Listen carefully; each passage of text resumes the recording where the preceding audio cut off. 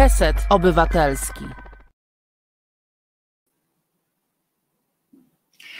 Witam Was w najlepszym możliwym towarzystwie, czyli po pierwsze z Wami, a po drugie z redaktorem Czesławem, oczywiście, z którym tak jest, tak, wiem, z którym poprowadzimy wspólnie dzisiaj. E, e, e, no już tak, pan redaktor już spojrzał, swoim pańskie oko konia tuczy. A zatem boom, tydzień, tydzień zleciał boom. Dzisiaj między innymi, żeby nie było tak, że ja tu sam z wami będę po prostu dzisiaj rozmawiał, chociaż jest co w tym tygodniu podsumować i podsumujemy sobie wiele, wiele na krótko takich tematów, ale nie mogło zabraknąć w naszym w resecie obywatelskim, wiecie, to jest audycja, która generalnie tak trochę prześmiewczo traktuje rzeczywistość, ale są takie momenty, kiedy kiedy też trzeba, kiedy trzeba po prostu porozmawiać na poważnie. Taką sytuacją jest to, co się aktualnie dzieje, moim zdaniem przynajmniej, co się dzieje aktualnie w Afganistanie. Dlatego pomyślałem, że ja sam mam braki w tym, w, wiedzy dotyczącej tego, tego takiego wyklętego, jakby to można powiedzieć, obrazowo miejsca na ziemi, gdzie ciągle coś się dzieje i to, co się dzieje, to rzadko jest, rzadko jest pozytywne. Bardzo rzadko jest możliwość usłyszenia czegoś, jakichś bardzo dobre, dobrych informacji z, z Afganistanu, że coś pozytywnie. Znowu było niepozytywnie, po, po 20 latach tak naprawdę, a 10 latach bardzo intensywnej obecności, ale po 20 latach tak, obecności amerykańskich wojsk i wojsk, wojsk sprzymierzonych w Afganistanie. W ciągu jednej nocy one opuściły, opuściły Afganistan E, talibowie idą po prostu przez państwo jak, e, no jak w masło wchodzą wszędzie w, w tamtejszych mediach, ale gorzej, że również w mediach światowych pokazuje się niestety te obrazki takie trochę nawiązujące do tych znanych nam obrazków, filmików, jak to, nie wiem, Hitler wjeżdża do Gdańska witany owacyjnie, jak to Breżniew przyjeżdża przez Warszawę owacyjnie witany i takie są te obrazki, które wskazywałyby na to, że tamtejsze społeczeństwo przez te 20 lat nic więcej nie robiło, tylko czekało, aż ci talibowie przejmą władzę z powrotem. Już większość miast jest pod ich, w, w ich rękach, tak powiedzmy.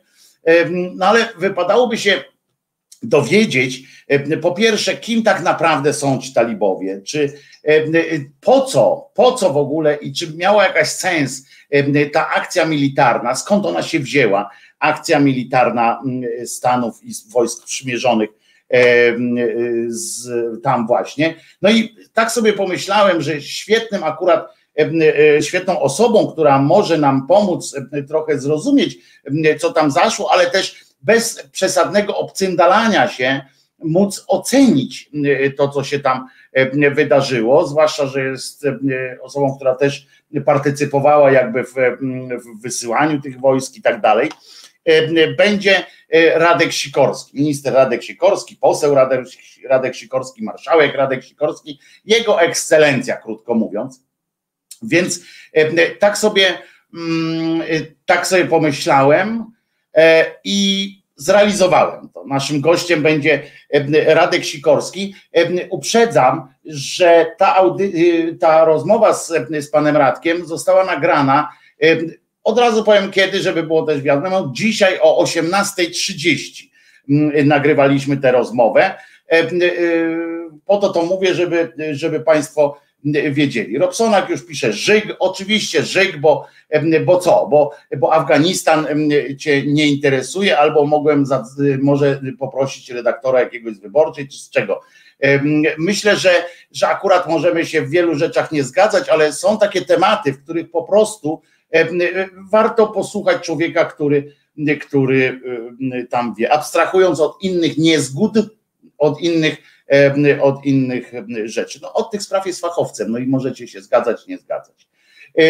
No więc co, Krzysztofie, poproszę Cię chyba po prostu o włączenie tej rozmowy. Ja tu jestem z Wami, więc, więc jestem na czacie, jestem cały czas aktywny oczywiście. Ta rozmowa to nie jest na, cały, na całą audycję, więc wrócę. Jeszcze to jest około 30-40 minut rozmowy z panem Radosławem. Spróbujmy w takim razie posłuchać pana Radosława, co ma do powiedzenia. Muszę Wam powiedzieć, że ta rozmowa była inspirująca również dla mnie. Dlatego podzielę się też pewnymi swoimi swoimi uwagami, no i liczę też na, na to, na wasze, na wasze przemyślenia. Co też tam się tak naprawdę od Janie Pawla i po co się to wszystko od Janie Pawliło? Krzysztofie, damy radę już teraz, to, to proszę bardzo. Dzień dobry, panie E, ministrze, e, czy panie pośle pan woli, jak się do pana mówi, bo pan Gowin tak e, ostatnio woli, jak się do niego mówi, panie wolny człowieku. Dla prostoty można mówić ekscelencjo. Nie, żartuję, obojętnie. Bardzo proszę. A zatem ekscelencją w sprawie tego, no smutno, tak, się, tak zacząłem wesoło, ale sprawa cokolwiek jest smutna, przykra, to zależy jak kto patrzy. E, chodzi o ten Afganistan. Po pierwsze, wiemy, że y, żołnierze amerykańscy, wszyscy żołnierze poza, którzy tam stacjonowali w ramach mandatu, różne, różnych mandatów, e, wycofują się i to w takim tempie, rzekłbym, e, no, ekspresowym, prawda? I w trybie nagłym. Ja najpierw mam do Pana pytanie takie, czy czy to jest mądra decyzja? E, po pierwsze, tam zdaje się, akurat teraz ma być trochę więcej żołnierzy, bo został mały kontyngent dla ochrony ambasady. Ale rzeczywiście te wojska, które stanowiły siły stabilizacyjne, już zostały wycofane i to, i to cichcem pod osłoną nocy. E, ja uważam tą decyzję za błędną. Nasz Y, nasze wejście i sposób obecności w Afganistanie był błędem, i nasze wyjście i sposób wyjścia też jest błędem. Y, weszliśmy do Afganistanu na y, daleko zbyt szeroką skalę. Jako minister i obrony, i spraw zagranicznych odwiedzałem Afganistan. No i przykryliśmy ten kraj siecią olbrzymich baz natowskich, których głównym zadaniem była ochrona samych siebie. A teraz wycofaliśmy się zupełnie. Decyzje są amerykańskie, tutaj nie ma żadnej winy polskiego rządu w tym. Tak jakby nie można zostawić jednej bazy, na przykład Bagram, jako elementu szachowania talibów i upewniania się, że nie powrócą do tych najgorszych praktyk z poprzedniego okresu swoich rządów. Rozmawiałem o tym na bardzo wysokich szczeblach w Waszyngtonie miesiąc temu w Narodowej Radzie Bezpieczeństwa, w Kongresie, w Senacie, w Departamencie Stanu. Ich argument był taki, że gdyby Amerykanie y, Bagram utrzymali, to talibowie zerwaliby rozejm i trzeba by tą bazę utrzymywać na stopie wojennej. I to jest pewnie prawda.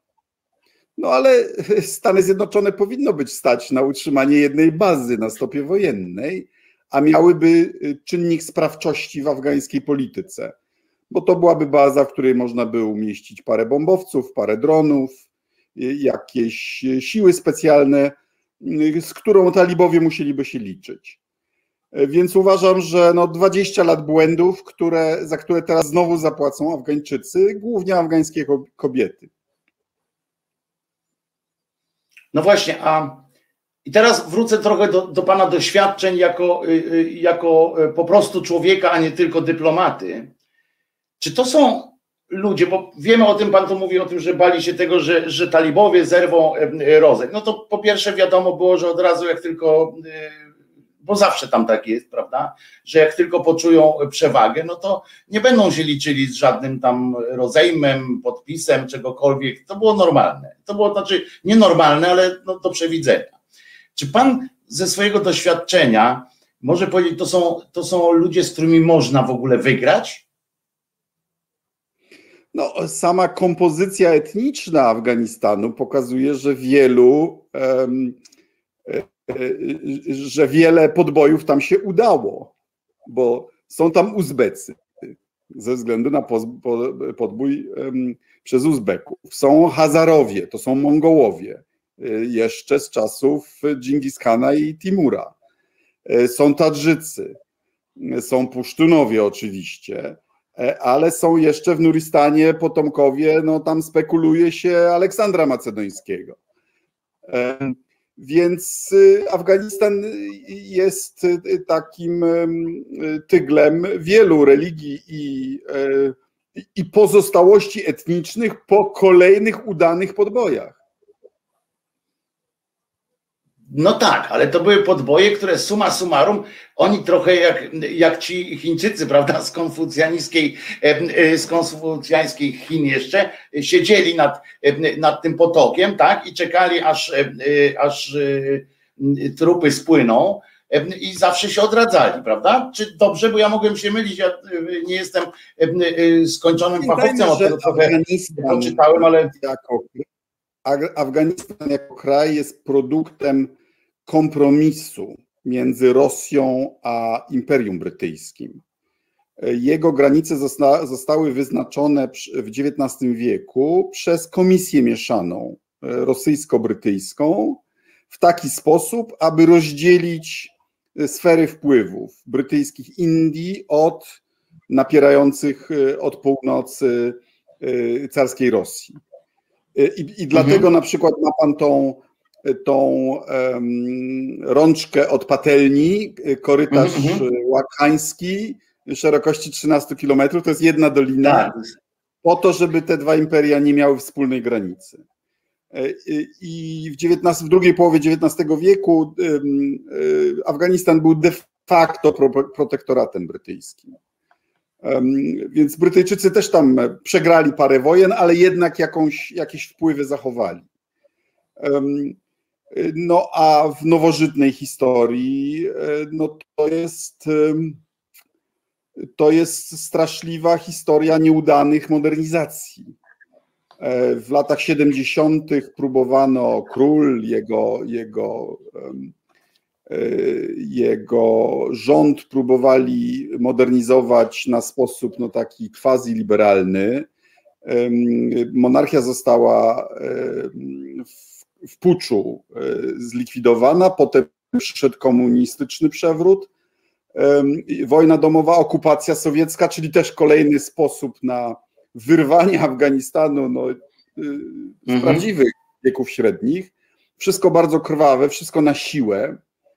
Y, I to powinno być wielkim, wielką przestrogą dla tych, którzy chcą właśnie przemodelowywać kraje na siłę, zarówno ku modernizacji, jak i potem ku takiej kontrreformacji, bo, bo no, ruch talibów to jest ruch E, wiejskich pusztunów o konserwatywnym islamskim e, światopoglądzie, e, w przeciwieństwie do tego rządu w Kabulu, który no, na, na, na modłę quasi-zachodnią próbował modernizować kraj. Czy ja dobrze odgaduję, że w ogóle talibowie, ruch ten talibów jeszcze już od, już od dawna, to, to są właśnie bardziej kwestia odpowiedzi niż, niż takich jakichś wewnętrznych potrzeb i tak dalej, tylko to jest bardziej kwestia odpowiedzi na to, jak, się, jak im się próbuje coś narzucać. Dobrze, dobrze to y, odnajduję, że oni sami z siebie by tacy nie, nie, nie byli. Ruch talibów powstał w połowie lat 90.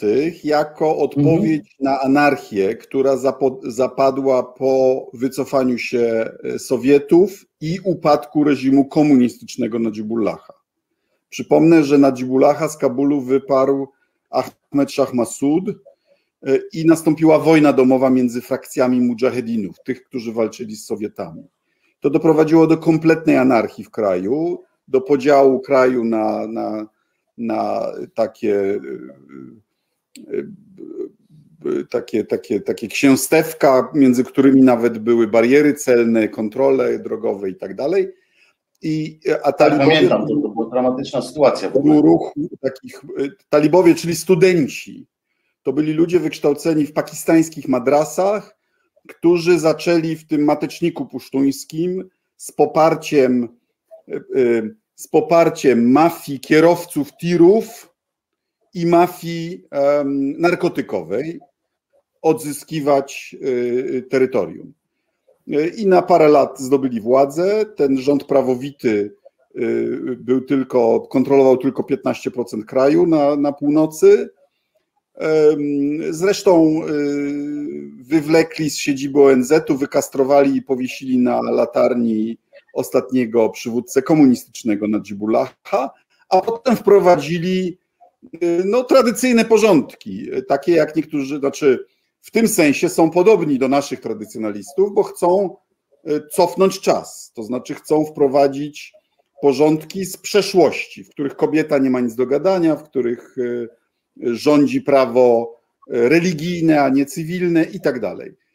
No i te wszystkie anachroniczne kary typu odcinanie rąk, to wszystko wtedy. To przepraszam, panie ministrze, ale to nawet oni chcą wprowadzić nie tyle, tak mi się wydaje, e, e, tak jak nasi zresztą, to właśnie podobieństwo, to podobieństwo, nie tak jak e, nie chcą wprowadzić czegoś, o czym wiedzą, jak wyglądało, tylko jak im się wydaje, że, powi- że było w Ale to zawsze tak prawda? To... Znaczy nasi tradycjonaliści też chcą wprowadzić jakąś no dlatego swoją mówię, to jest to samo, nie? Porządków XIX-wiecznych, a ci chcą wprowadzić swoją interpretację porządków no właśnie, VII, tak, tak. czy VIII wieku. E, włącznie z, ze wspólną dla obu ruchów w Polsce i w Afganistanie e, wrogością do mniejszości seksualnych.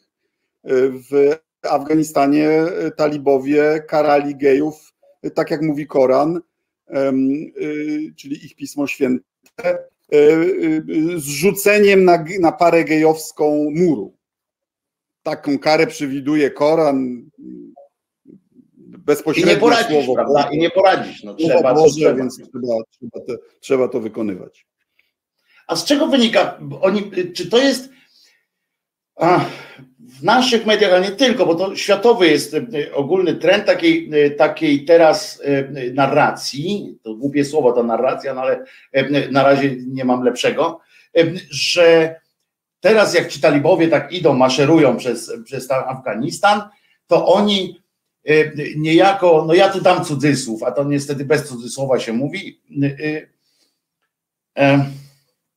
że oni przywracają to, co, czego oczekuje społeczeństwo, że oni są takim e, prawdziwym oddechem, że nareszcie tam skończyło się, skończyła się okupacja i że oni tak gdzieś wewnętrznie wszyscy chcą tak żyć właśnie. Bo tam pokazują, tak jak się pokazuje, nie wiem, te Gdańsk, Gdańska, wie pan, jak flagi Hitlera witali, to tak samo się pokazuje te fragmenty no zresztą my mamy tu doświadczenia akurat z, z, pewną telewizją, która e, też właśnie by wycięła jakiś taki fragment, prawdopodobnie, że e, cały naród e, czeka na, na premiera. I tam takie obrazki są. Ile w tym jest prawdy? Afganistan nie jest jednolity. W dodatku do tej różnorodności religijnej i etnicznej, o której już sobie powiedzieliśmy, jest także różnorodność polityczna. I miasta żyją wedle rytmów światowych. Y, są skomunikowane, Herat, y, y, handel z Iranem i tak dalej, Kabul, dość międzynarodowe miasto i tak dalej, a to są chłopacy ze wsi. To jest, to jest tak jakby Podkarpacie pod wodzą księdza Natanka prze, przejęło Warszawę. Mhm. Z całą i wszędzie po drodze.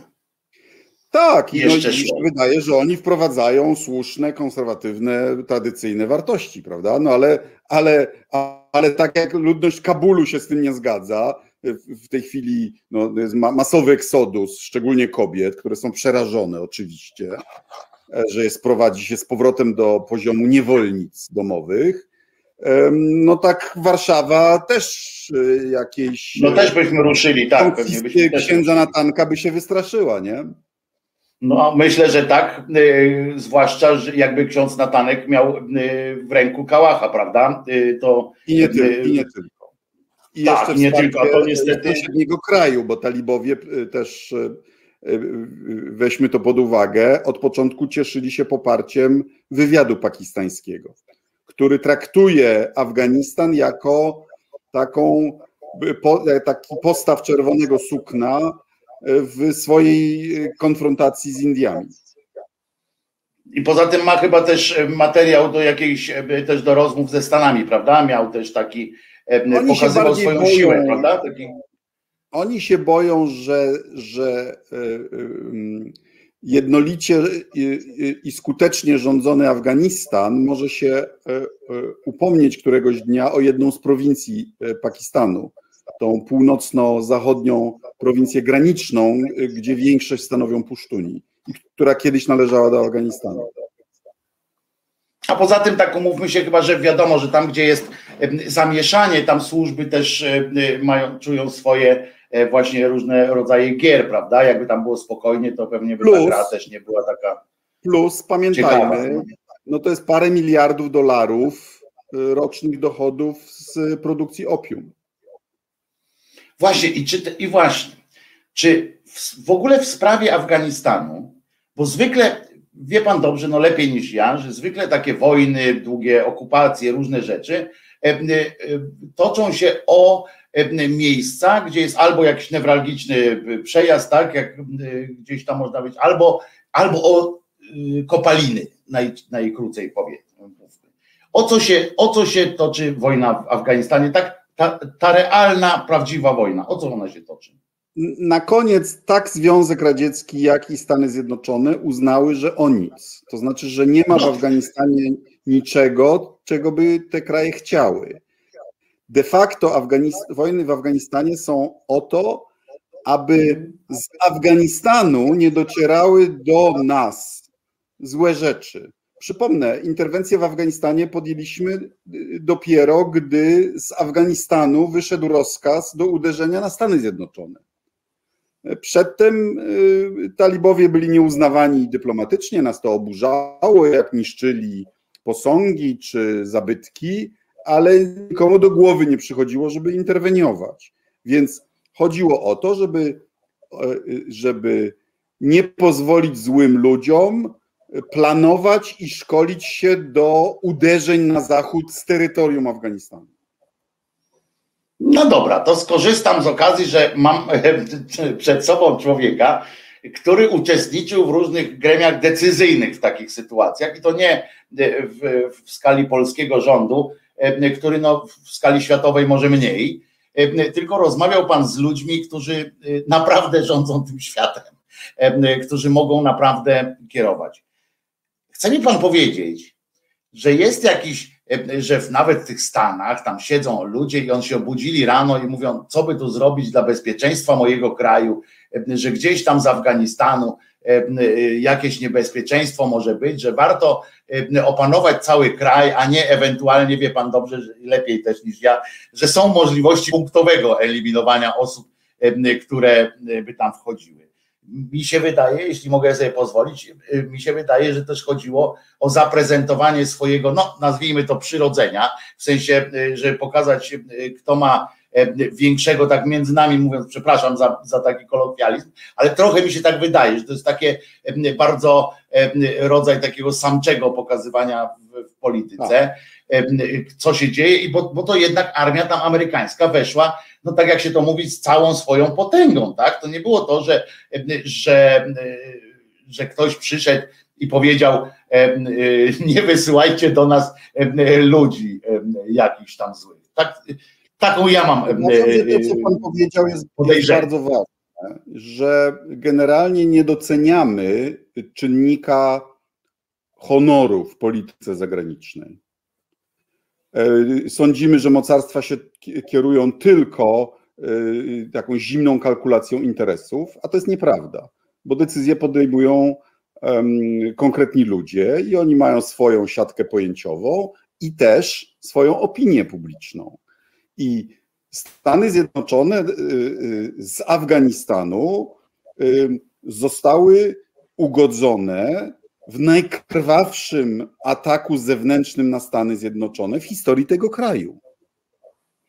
I um, moim zdaniem to jest jeszcze bardziej niż to, co pan powiedział. To znaczy, raz, musieli pokazać, że to nie uchodzi płazem i że żądza zemsty zostanie zaspokojona, ale dwa, ja mam teorię, że dlatego, że Afganistan został podbity stosunkowo łatwo, bo to nie była cała potęga Stanów Zjednoczonych, ona weszła dopiero jak już Kabul padł.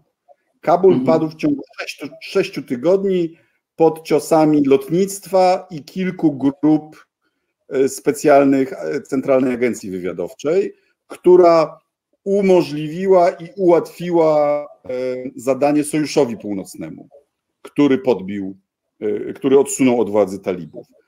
I być może to była wielka tragedia, bo, że, bo gdyby talibowie naprawdę walczyli z Amerykanami przez pół roku albo, albo rok, i Amerykanie musieliby użyć większych środków, aby odsunąć ich od władzy, to może ta ich potrzeba pokazania, kto ma większego i zaspokojenia rządzy krwi za 11 września zostałaby już zaspokojona w Afganistanie i może nie zrobiliby Iraku. Mhm. I potem, a potem to wszystko jest reszta konsekwencją tak, różnych E, różnych pojedynczych rzeczy. E, panie, e, panie ministrze, a to się teraz ta, mm, ta sytuacja, która tam się dzieje, co będzie oznaczała, jak pan myśli, co będzie oznaczała dla tej ludności? Ten, myśli pan, że talibowie po pierwsze, po pierwsze, czy talibowie zajmą cały, cały Afganistan, czy, czy jednak powstanie tam jakaś siła, jakaś siła, która się im przeciwstawia? Bo na razie idą jak w masło, tak? Na razie idą, idą jak w masło, maszerują w momencie, gdy Amerykanie o, o, ogłosili, że się wycofują, no to wiadomo było, kto wygra. Więc tak niby dlatego żołnierze mieliby ryzykować życiem za rząd, który, którego za chwilę nie będzie. Ja nie wykluczam, że Kabul może się bronić przez jakiś czas, no bo tam jest jednak pewna masa populacji, która, się, która jest przerażona e, e, widmem po, powrotu talibów. I jeżeli Amerykanie finansowo i wojskowo ten, ten rząd wesprą, to, to, to może się ostać przez jakiś czas. Ale mhm. Y, miasta padają y, jeden po drugim, dlatego że przywódcy, każdy z nich już dealował z talibami od wielu tygodni. No bo, bo taka jest logika polityki w tym kraju. Y, więc to się jeszcze, u bram Kabulu jeszcze może być jakaś bitwa, ale. Ale to bardziej no, bitwa niż wojna, tak? Bardziej bitwa niż wojna są ludzie, którzy wiedzą, że pójdą pod ścianę, więc, więc będą walczyć. Talibowie... Jeszcze mają drogę ucieczki, prawda? Jeszcze mają drogę ucieczki, ale już za chwilę nie będą mieli. Już, już zdaje się, że są walki na drodze między Kabulem a Jalalabadem, a to jest ta droga do Pakistanu. A, no, czyli już... I chyba, czyli i już... chyba już nie ma e, przejścia do, bo Faryab padł, Mazari Sharif chyba jeszcze nie, więc może jeszcze na północ jest przejście. No i droga no to dosyć ryzykowne już jest, tak, to jest dosyć to ryzykowna już e, operacja. E, e, I, jeszcze jedną rzecz chciałem powiedzieć, że talibowie zapewniali ponoć Amerykanów, że nie, nie, tym razem to, to nie będzie tak jak poprzednio, bo my nie chcemy już być izolowani, chcemy uznania międzynarodowego, więc nie, nie, jak dziewczynki chcą do szkół, to proszę bardzo, byle tam się uczyły Koranu. Tylko jestem ciekaw, jak będzie naprawdę. To znaczy, oni nie po to siedzieli w jaskiniach e, przez 20 lat, żeby teraz szanować e, wartości i procedury prozachodniego rządu. E, oni tam poszli po to, żeby wprowadzać swoje porządki. Mało tego, Mało tego, podejrzewam, że generalnie w ogóle mentalność ludzka, tak zwanych łobuzów, bo, z którymi mamy też do czynienia i u nas, bo to jest takie oczywiście bez broni, bez, kałach, bez kałachów, bez jeszcze bez różnych takich rzeczy, ale to jest pewien rodzaj też mentalności, prawda, że każde, każde ustępstwo traktuje się, czy każdą rękę wyciągniętą do jakiejś zgody, czy próbę porozumienia, traktuje się jako przejaw słabości, prawda? A, a to jeszcze bardziej w tamtej kulturze, która, która ma tysiące lat była uczona e, tego, że słabym być nie można, prawda? Że w ogóle nie to raz, słabości. A dwa, no to taka skrajna ideologizacja w tych madrasach pakistańskich, islamski fundamentalizm w czystej postaci. Mhm. Z tym, że to będzie moderowane, sądzę, na przestrzeni dekad może niż lat. Tym, że jednym z efektów inwazji sowieckiej i tych lat y, wojny domowej jest to, że olbrzymia proporcja Afgańczyków, jedna czwarta, może jedna trzecia narodu, przeszła na jakimś etapie przez doświadczenie emigracji. Gdy ja tam podróżowałem w latach 80., to tam było naprawdę czyste średniowiecze. To znaczy ludzie mieszkali w tych swoich dolinach i ja byłem często pierwszym białym człowiekiem, którego widzieli na oczy. I pytali mnie, a Polska to ile dolin stąd? A teraz wielu z nich jednak było w Iranie, w Pakistanie, mają diasporę olbrzymią w, w Niemczech, w Turcji i tak dalej. No, wiemy, że diaspora polska zawsze też odgrywała jakąś rolę, prawda? W, w utrzymy, jednak w przemeblowywaniu mentalności. Tu bym, tu bym widział jakąś, jakąś iskierkę, tak? Jakąś iskierkę. Jakąś iskierkę nadziei. A tam y, są też, y, są też y, chyba budujące w sumie, no nigdy nie wiadomo, co jest na końcówce, ale na tych biednych chatach te anteny satelitarne, które się ogląda. I to też nawet jeśli oglądają, nawet jeśli oglądają to Al Jazeera czy kilka, to, to i tak jest kilka kroków bardziej, prawda, niż, niż to, co im proponują. Tylko Al Jazeera oglądali. No, my wiemy, co oni tam pewnie oglądają, bo to jest, to jak powiedział Lem, y, no, po to stworzono te sprawy, żeby, żeby y, oglądać, żeby się zabawiać seksem. No to y, można być jak najbardziej no, radykalnym tym, ale jak, tak- jak pokażą go nagą kobietę, to się żaden talib i żaden inny nie uchowa. No to, to taka jest prawda niestety. No wie pan, e, właśnie padło gazni w zeszłym, wczoraj Wtedy, gdy byłem ministrem, to zorganizowali, a nasi żołnierze. Nasi żołnierze byli, tak. Wspierali w, w Gazni, no to próbowaliśmy e, cywilizować byłego taliba, gubernatora Gazni, i on przyjechał do Polski, żeby mu pokazać, jak działa samorząd, relacje państwo-kościół, no w ogóle Polskę mu pokazać, żeby taki był przyjazny bardziej. I zabawna sprawa, bo y, planując jego podróż, no, departament mówi: Panie mamy taki kłopot, bo nie wiemy, co z tym zrobić. Pan gubernator no chce Warszawę, Kraków, tak, ale na, na, na, na, mówi, że nie jedzie, jeśli nie pokażemy mu Sopotu. Myślałem, pan Tusk był premierem, może dlatego. Co się okazało? Pan gubernator nigdy nie był na plaży.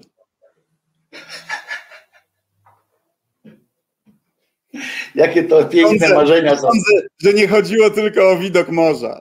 No też tak podejrzewam. Też tak podejrzewam. Szkoda, że nie znał piosenki Wodeckiego Chałupy Welcome to to może, e, może by zechciał trochę dalej e, e, pojechać w głąb naszego morza, troszeczkę użyć. No ale no i tak miło. Właśnie, a jakie pan ma wspomnienia? Bo pan z tymi talibami, znaczy nie, o właśnie, to chciałem zapytać. Czy to są ci sami talibowie, z którymi pan, e, z którymi pan ramię ram, w ramię stawał? Nie, wie pan, to jest w Polsce bardzo częsty błąd, ale, ale No właśnie, dlatego... Znaczy, mujahedini to byli partyzanci antysowieccy. Talibowie to byli ich najgorsi wrogowie, którzy ich odsunęli od władzy. Mhm. Więc, ale w Polsce wie pan, mujahedini, talibowie... No ja wiem, no, dlatego się mówi. No. Ja widziałem pana przecież w czapce taliba, E, jako, tak, jako przedstawiony nie, jako talib. Po prostu pusztuńska, nie każdy pusztuński. Tak, ale jako talib był pan, nie? Jako talib. Więc ja podróżowałem z mujahedinami, a nie z talibami. A to są dalej ci sami ludzie, czy... czy Inne pokolenia. I, I ono jest całkowicie inne w sensie też mentalnym, czy, czy, czy gdzieś jest jakieś coś, że pan by się jeszcze potrafił, czy pan, o krótko mówiąc tak, czy jakby pan tam pojechał, Mujahidini. Teraz w takim gorącym okresie potrafiłby się pan tam jakoś e, jeszcze odnaleźć? Po, po, e, tak, ale Mujahidini reprezentowali całe spektrum e, polityczne Afganistanu. Od monarchistów, poprzez tam laickie, aż po fundamentalistów. A talibowie to są skrajni fundamentaliści. Mm. Czy byli, czy myśli pan, że jeszcze, bo tak rozmawialiśmy wstęp, tak powiedział pan o tym Kabulu, a teraz mi się przypomniało takie, takie pytanie, które chciałem zadać, czy, czy jeżeli już ci talibowie zajmą to większość przynajmniej tego kraju, e, to myśli pan, że oni spróbują zrobić jeszcze raz to samo, co, co robili poprzednio, czy jednak, e, czy jednak będą chcieli udawać, że to jest że to jest kraj tam przyjazny ludziom i tak dalej. No raczej bym obstawiał to pierwsze. Dzisiaj jest raport, że już gdzieś tam y, y, y, jakiś ludzi oskarżonych o, o, o złodziejstwo chcieli zacząć obcinać ręce, ale powiedzieli nie jeszcze, bo nie, jeszcze nie obetniemy, bo, bo najpierw tu musimy przygotować służby medyczne, żeby to robili profesjonalnie. Co no, to ale znaczy? to by, wie, wie pan, to by jeszcze znaczyło, że jeszcze mają skrupuły, że jeszcze myślenie takie polityczne jest, prawda, że, tak. że coś tam, to by nawet natychało trochę, trochę nadzieją, że jednak się mają kogoś z kim się Że tak? to przywództwo polityczne talibów, które siedziało parę lat w Dubaju, że ono coś zrozumiało i że może nie chcieć krwawej łaźni, ale mhm. czy oni zapanują nad tymi lokalnymi dowódcami, którzy będą się chcieli zemścić za, za te wszystkie lata, no to wątpię. A nie mogą im zakazać, tak? Bo to jest. Czy ile jest prawdy w tym takiej, w tej strukturze klanowej, tak nazwijmy to, że jak oni, że polega to na tym, że jak on by zakazał jakiemuś, ci mówię o tych na samej górze, jakby zakazali temu pomniejszemu jakiemuś księciu, bo oni tam chyba jakieś takie mają, prawda? Tego typu odnośniki to są, że książę, coś takiego. Pan mnie poprawia w razie czego, jak ja coś będę gadał głupio, to, to proszę mnie poprawiać. W każdym razie, że to nie jest takie łatwe, prawda? Zwrócenie uwagi, czy wymaganie czegoś od, od tych niższych Tam przywódców. Tam dwa porządki. Porządek wynikający jednak ze struktur istnienia państwa, E, którego chyba nie będą mogli zlikwidować, bo będą chcieli y, mieć pieniądze, krótko mówiąc.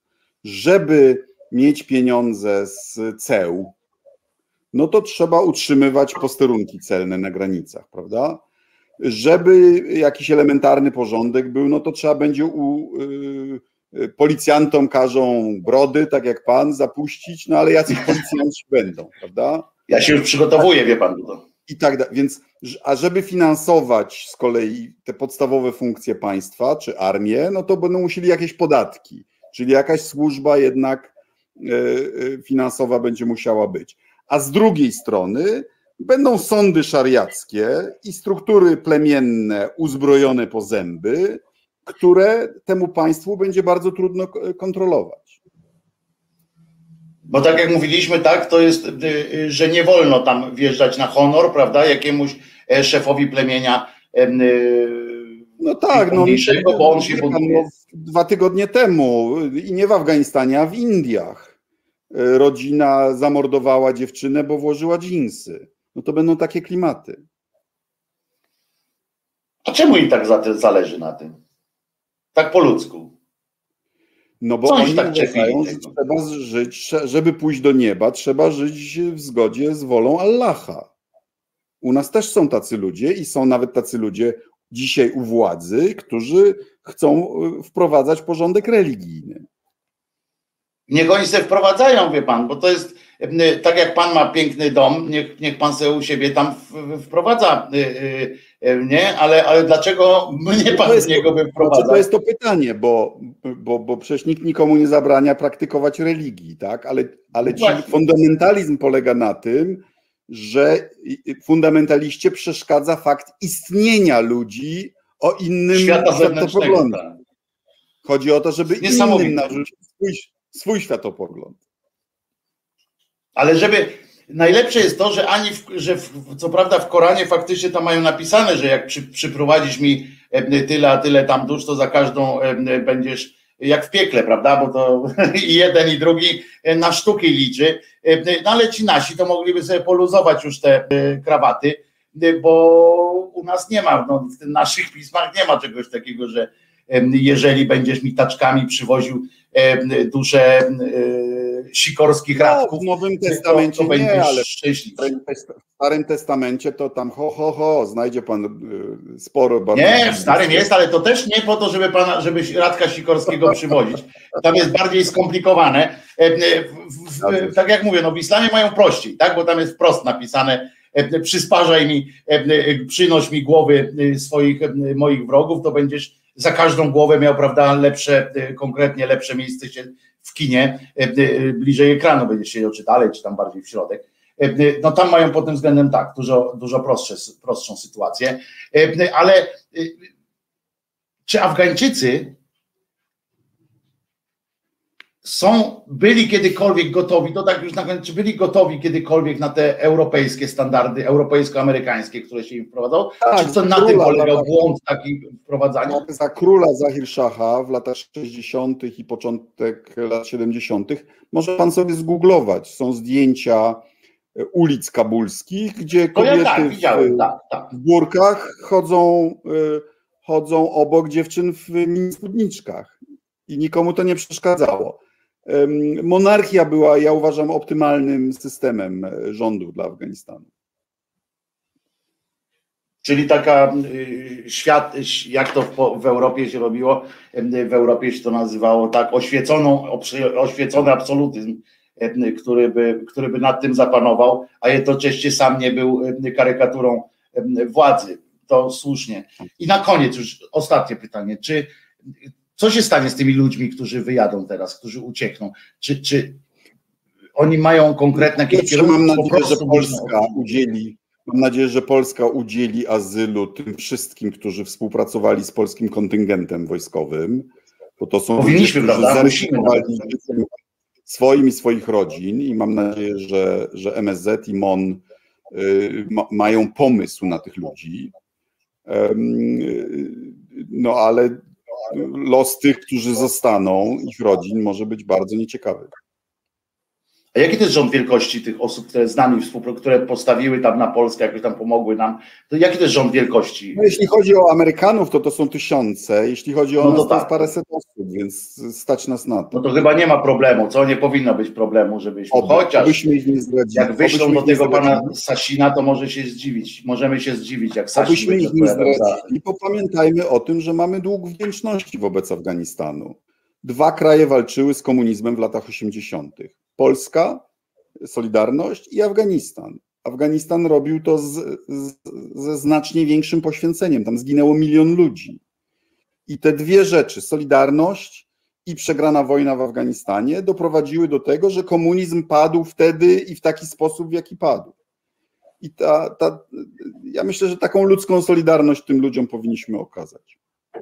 A poza tym umówmy się, no, to co mówiliśmy o, tych, o tym pokazywaniu, kto ma co, no to my powinniśmy pokazać, że jak tak dużo mówimy o tym honorze, prawda, tak dużo mówią, no to to jest jedno z podstawowych akurat. Czas pokazać czasami, a nie tylko o tym Tak, e, ale no wie pan, mamy rząd e, o, o jakichś obsesjach e, na punkcie imigracji i, i używających no bakterie, imigracji do, do, do polityki, więc wie pan, w 2015 roku szczuli Polaków na 7 tysięcy chrześcijańskich wdów z Syrii. E, potem dali kilkadziesiąt tysięcy wiz do pracy obywatelom Bangladeszu, Nepalu, i Indii i Pakistanu, którzy już w Polsce są, wszyscy ich na co dzień widzimy. E, I na razie nie ma z nimi większych kłopotów.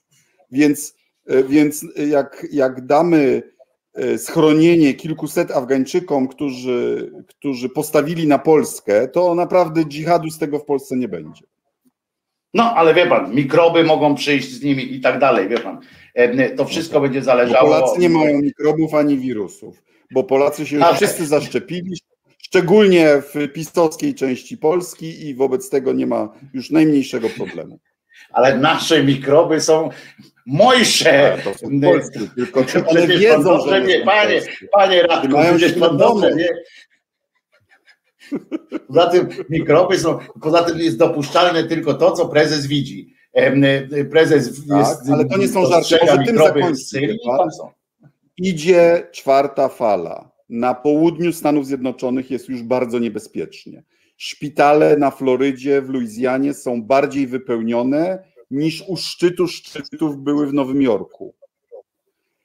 Mhm. Ostatni moment, żeby się za, za, zaszczepić i żeby uzyskać pełną od, odporność, zanim ta fala dotrze do nas. Y, apelujmy do naszych rodaków, żeby się nie dali Zawsze to robimy, tak tej kremlowskiej operacji aktywnej przeciwko szczepieniom i tym durnym frajerom, którzy ją powtarzają. Szurom tak zwanym, tak jest. Y, tak, bo, bo, bo naprawdę nie warto ryzykować życia swojego i swoich rodzin dla tej propagandy. Dziękuję bardzo. Bardzo dobre było. podsumowanie. Bardzo Dziękuję. dobre podsumowanie, panie, panie, panie ekscelencjo, e, jak się umówiliśmy e, wcześniej. Bardzo dziękuję, że, e, że zechciał. Mam nadzieję, że będzie fajna, fajna, będzie fajne spotkanie na Campus Polska. Wiem, na które się pan wybiera z żoną.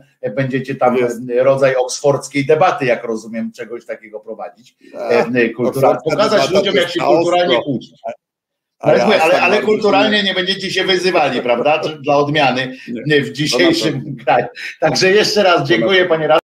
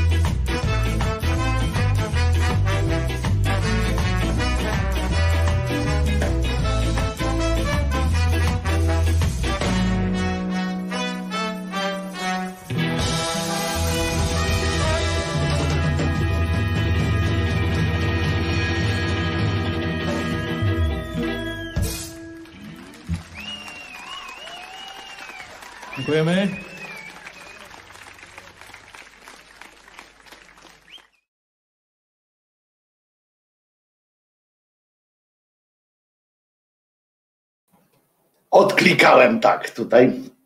E, no, jak Krzysztofeles dobierze nutę, no to yy, mucha nie siada, prawda? Yy, akurat chyba najlepszą, którą mogłeś. Dzięki wielkie Krzysztofeles. Przypomnę, że producentem tego programu jest Adam Zriwi. Dziękujemy za wsparcie, dziękujemy też za wsparcie tym z Was, którzy yy, dołączyli też do tarczyńców Resetu Obywatelskiego w trakcie rozmowy z panem Radkiem. I Hosi dołożył jeszcze dychę do wcześniejszej swojej, mm, y, wcześniejszej swoje, wcześniejszego swojego datku. Słuchajcie, moi drodzy, Wojtek Krzyżania, Kreset Obywatelski, powiem wam, że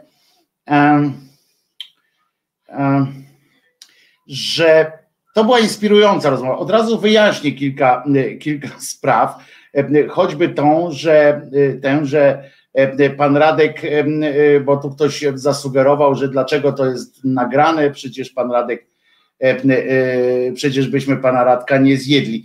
Nie, to nie była, nie, to nagranie nie było nijak związane z tym, że, że pan Radek jakoś się obawiał, czy coś takiego. Nie, po prostu to jest człowiek, co by tam nie powiedzieć, zajęty i mm, bardzo zadowolony jestem, że udało mi się tak na szybko bardzo z panem Radkiem połączyć, zechciał z nami porozmawiać, poświęcić wam przede wszystkim swój czas i myślę, że ta rozmowa trochę nam otworzyła też, bo ja bardzo dużo się dowiedziałem z niej i od pana Radosława, bo my, my tak zwyczajowo przyglądamy się temu Afganistanowi przez pryzmat tylko po prostu telewizji, takich tych mass mediów, tego co tak po prostu wiemy, o czym zresztą dzisiaj mówiła Martyna w porannej audycji w, w szyderczym kanale. I, I po prostu mogliśmy się dzięki temu dowiedzieć trochę o tej strukturze, e, jak również o tym, że naprawdę mogliśmy odczarować troszeczkę to, że to są jakieś bardzo wielkie, zawsze przemyślane, przeanalizowane po stokroć e, decyzje i ze wszystkimi szacunkami konsekwencji późniejszej i tak dalej. Prawda jest taka, że jest to jednak, i to mieliśmy z, pierwszych, z, pierwszego, z pierwszej ręki po prostu pokazane, powiedziane, że jest to jednak również pokazywanie sobie po prostu e, fiutów. No, no taka, jest, e, taka jest prawda o, e, o światowej polityce i o światowych politykach. Ale zainspirowała, zainspirowała mnie ta rozmowa też do pewnych przemyśleń, może was też do takich właśnie, czy te na przykład, czy te porównania Polski obecnie, które słyszymy często do Białorusi, są nadużyciem? Pewnie tak, ale tylko na razie, tak? Y, bo pamiętajmy, że te zdjęcia, które możecie naprawdę w Google sobie zobaczyć, które, o których mówił pan Radek, to naprawdę y, one były i one nie były, to nie są zdjęcia, wiecie, z czasów rzymskich, tylko to są zdjęcia sprzed kilkudziesięciu lat, w których tam ludzie żyli normalnie, w tym sensie normalnie, że nikt nikomu niczego nie zakazywał, znaczy nie na taką skalę jak teraz. Tam, tam nie było też wielkich e, sytuacji. E, I Polacy też tam podróżowali. Całkiem niedawno temu pisze nasz słuchacz, tutaj wystarczy poszukać materiałów na YouTubie. Tak, ale tam nie ma, tam na przykład o tych kulisach, kulisach tej polityki, no to już nie znajdziesz tak, tak po prostu od kogoś, kto tam, kto tam był. Ale wracając do tych moich, do tego, czym się, co, do czego mnie, do jakich przemyśleń zainspirowało mnie taka rozmowa, e, na którą nie zawsze mam, e, mam sposobność, bo o tym świecie to często zapominamy, tak? My często się zasklepiamy w tym swoim myśleniu o tym naszym świecie jako, jako świecie e, zamkniętym, tak? Że jesteśmy my i już. O, Piotr jest, przepraszam, nie zauważyłem, że mamy, że mamy słuchacza. Przepraszam, Piotrze. Dobry, dobry wieczór. Po prostu ekran miałem z, zasłonięty i, i nie widziałem. No dobrze, ale jak mnie słychać, bo ja nie wiem, czy to jest dobrze. Ja cię słyszę bardzo dobrze. Dobrze, okej. E, Wojtku, bardzo dziękuję za to, że porozmawiałeś z Radkiem Sikorskim. Ja tutaj nie będę się silił na tytuły wszelakie. To naprawdę bez sensu. E, to jest po prostu konkretny facet, konkretna twarz i, i o czym tu mówić, tak? Fakt, że facet prze, przeszedł w Afganistanie pewną szkołę życia całkiem na początku swojej kariery i chyba dzięki temu, że tam z tymi pusztunami pomagał tym pusztonom i, i, i, zgłębiał te środowiska, ma też na ten temat wiedzę szerszą niż każdy inny z obecnych na tej scenie politycznej w Polsce człowiek. Więc wykorzystanie jego wiedzy wydaje mi się ogromnie cenne.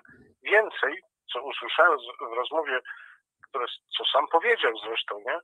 że całkiem spokojnie sobie on konferuje z ludźmi z Departamentu Stanu i z takich różnych tam e, gremiów i dowiaduje się o rzeczach, które nam e, wydawałyby się no, zakryte, tak? że, że takie czy inne interesy powodują, co Wojtku słusznie powiedziałeś przed chwilą zresztą, że nawet nie zdajemy sprawy, jak wiele rzeczy odbywa się całkowicie wbrew wszelkiej logice, bo, bo jest to okazywanie fiutów. Tak?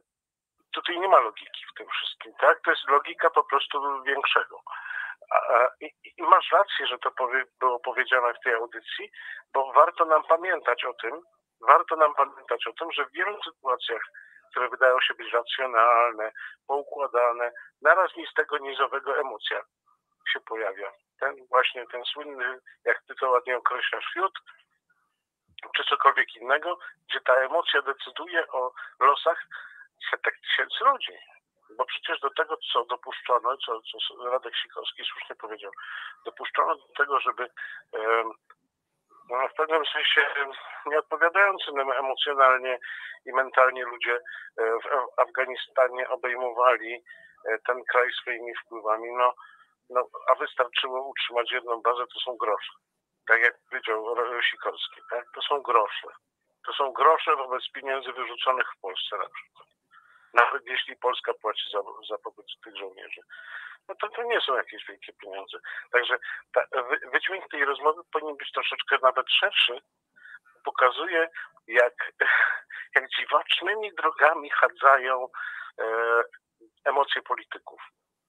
Polityków. Nie, nie fachowców, polityków. W poprzedniej audycji u Estery był profesor, który opowiadał o polskich e, e, polskim wywiadzie w czasach wojny polsko-rosyjskiej, polsko-sowieckiej. Tam też emocje grywały ogromne role. To widać, że, że, że jak, to jest, jak to jest strasznie nieracjonalne. Dziękuję Ci Wojtku za tę rozmowę. Dzięki. Dziękuję Ci Piotrze za, za ten głos. E, dla mnie to było potrzebne również ta rozmowa ze względu właśnie takich, żeby spojrzeć na to, e, e, na to od strony tej takiego zwykłego, zwykłego wiesz, z boku, żeby, wiecie, żebyśmy mogli sobie przybliżyć, co się tam dzieje po prostu, bo to ten przekaz, który ja widziałem, ja po prostu wpadłem na pomysł, żeby z panem Radosławem się skontaktować, dlatego że sam zgłupiałem. Po prostu przekaz, ja oglądam również te amerykańskie telewizje, te różne, żeby spojrzeć na to, spróbowałem, tak się zastanawiałem, mówię o co tam chodzi, dlaczego na przykład opłacało im się wyjść po prostu tak naraz. I słyszycie, co, co że E, pan e, Sikorski, który był i ministrem e, obrony i uczestniczył w tych wszystkich debatach, po prostu sam przyznał, że to było 20 lat niepowodzeń, tak? 20 lat absolutnych niepowodzeń, 20 lat niczego, po prostu niczego, przelewania krwi tylko po to, żeby pokazywać sobie właśnie te, jak to Piotr też podkreślił, pokazywać sobie już tak powiedzmy, kto ma większego, kto jest silniejszy, kto jest, że dłużej. W pewnym momencie to stało się, stało się, okazuje się, że to stało się samo dla siebie, samo napędzającą się procedurą, że oni tam byli tylko dlatego, żeby nie wyjść, tak? W sensie, że, że wyjście to było pokazanie, że nie jesteśmy takimi kozakami, za jak nas uważano. A nie mogli sobie na to pozwolić, e, ponieważ e, jakby to wyglądało, jak ten główny policjant świata by wychodził. No i wyszli w niesławie w sumie bo tak jak ja sprawdzałem, jak wyglądało to, to ta kwestia tam bycia, to w pewnym momencie stało się tak, że oni tam byli, już nie budowali, to tylko NGOsy budowały szkoły, szpitale i tak dalej. Oni już tam po prostu skupiali się na tym, żeby tam po prostu być. I to było, to było bardzo, to jest taka bardzo przykra konstatacja w pewnym momencie. I tak jak mówicie, tak jak mówiliśmy, to po nic, to było takie, takie sztuka dla sztuki, ale nic to nie zmieni teraz, znaczy zmieni tylko na gorsze. Ale ja wracam do tego swojego, do, tego, do tej swojej inspiracji, właśnie czy tak mi się skojarzyło, my tu porównujemy się na przykład z Białorusią i nas porównują na przykład z Białorusią i my się tam niektórzy się oburzają, że, że to jest y, nie na miejscu i pewnie na razie jeszcze jest, tak jak mówiłem, ale porównania również na przykład są porównania z talibami, prawda? Pan Radosław, zresztą nasz gość dzisiejszy, też był przedstawiany w jakichś tam pismach, w tych talibskich czapkach, kiedyś, kiedyś pusztuńskich, nie, nie talibskich, ale pusztuńskich. Potem były, potem były różne kolejne sytuacje, potem my pokazujemy Macierewicza, czy tam kogoś w tej czapie pusztuńskiej i tak dalej.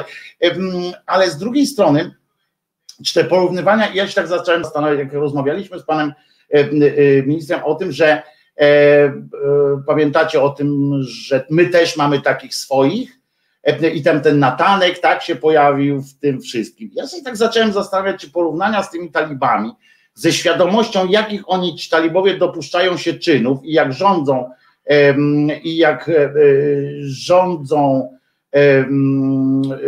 na tym swoim terytorium, wydaje się już grubą przesadą prawda? To takie, takie to już grube, jak wiemy, co tam się dzieje. Ale otóż prawda jest to, ale tylko częściowa, bo tylko pozornie, bo wyobraźmy sobie bowiem faktycznie sytuację, w której pan Czarnek, Kaczyński, Ziobro, Kamiński, Jenot Tarczyński na przykład, kiedy oni, albo kobiety, no na przykład z gatunku pan Szydło, Pawłowicz czy, czy Kępa, wiemy, tempa, kempa, e, żeby użyć tylko tych najbardziej znanych. E, otrzymują e, odpowiednią swobodę na przykład, kiedy zdejmuje im się kaganiec i obroże Unii Europejskiej oraz NATO. Otrzymują jako taki mandat społeczny, tak, że, że, że mają niby trochę na początku.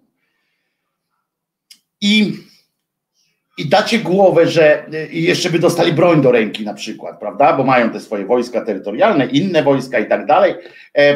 Wojsko zawsze można jakoś tam podobno kupić odpowiednimi przekazami na sprzęt i tak dalej. I no i właśnie. Czy oni nie zechcieliby użyć, i tak się zastanówmy, czy nie, naprawdę by nie dalibyśmy głowę E, e, bo ileż to razy już powiedzieliśmy, prawda? Nie, no tego to już tam nie zrobią, nie, no tego e, to już tam na pewno nie zrobią, prawda? Tak się, tak się to, tak się to um, zwykliśmy tak sobie o tym, e, o tym mówić, że, że tego na to już nie pójdą, ale dalibyśmy głowę sobie uciąć, e, że przy odpowiednim, przy pełnieniu odpowiednich warunków oni by nie podjęli takiego, e, takiej dramatycznej dla nas wszystkich próby, ja już bym głowy sobie nie dał. To są ludzie, których, którzy się nie powstrzymują przed niczym, których powstrzymuje tylko to, że nie my ich powstrzymujemy, ich powstrzymują procedury, ich powstrzymuje coś takie coś, co jest ponad, e, ponad nami. Więc nie jesteśmy moim zdaniem daleko od tamtejszych okoliczności, a dzielą nas od nich tylko naprawdę już europejskie instytucje i tak zwany etos wolności, który jeszcze się tli e, po prostu w części społeczeństwa. Ale nawet wracając do tego społeczeństwa, odwołując się, proszę bardzo, czy, czy, czy uważacie, że e, przy sprzyjających polskim talibom, w cudzysłowie, warunkach nasze społeczeństwo stawiłoby im czoła dzielnie? Bo ja tak patrząc po tych manifestacjach wszystkich, jestem przekonany, że, że jakoś, jakoś tak byłyby to chyba tylko takie wyspy wolności na morzu koniunkturalizmu niestety, tymczasowej wygody i tak zwanego świętego spokoju. Niestety tak myślę. Zresztą podobnie było w takich miejscach jak właśnie Afganistan, Irak i tak dalej, kiedy się zgadzano na pewne, dawano pewne ustępstwa w, właśnie na takim, na zasadzie świętego spokoju. Święty spokój, święte takie wiecie 500 plus, ale to nie mówię w sensie tym, żeby obrażać ludzi, którzy biorą 500 plus, bo, bo to się przydaje. Ja nie jestem przeciwnikiem 500, tylko chodzi o to, że o, tu dostajemy, tu jest bezpiecznie. Jest potem takie, taka ta narracja o tym, że inni wam odbiorą, w związku z czym najeżamy się, żeby nam nie odebrali. I, i tak, sobie, tak sobie postanawiamy żyć. Ja nie jestem pewien już, czy sami, naprawdę nie jestem pewien, czy sami dalibyśmy radę pozostać w świecie takiej liberalnej wolności co jest e, dużym, e, dużym, e, no moim zdaniem, no, argumentem za tym, żebyśmy wszystko zrobili, żeby zostać w, w Unii Europejskiej i w strukturach wszelkich, z których nas chcą na siłę wy, wygonić. Myślę, że myślę, że nie możemy na to pozwolić. Jesteśmy pierwsi na liście, jesteśmy najbliżej ze wszystkich europejskich krajów, myślę, najbliżej tego, żeby właśnie przekroczyć tę e, magiczną, e, magiczną e, linię.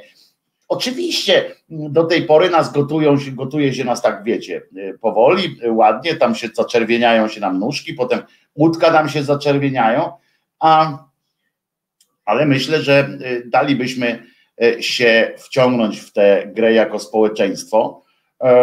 I ta wizja biegnącego po ulicach Warszawy na tanka, prawda, z flagami, to nam się wydaje odległa, bo nawet ci nasi talibowie uważają Natanka za wariata, tylko dlatego go uważają, że nie jest ich wariatem, prawda?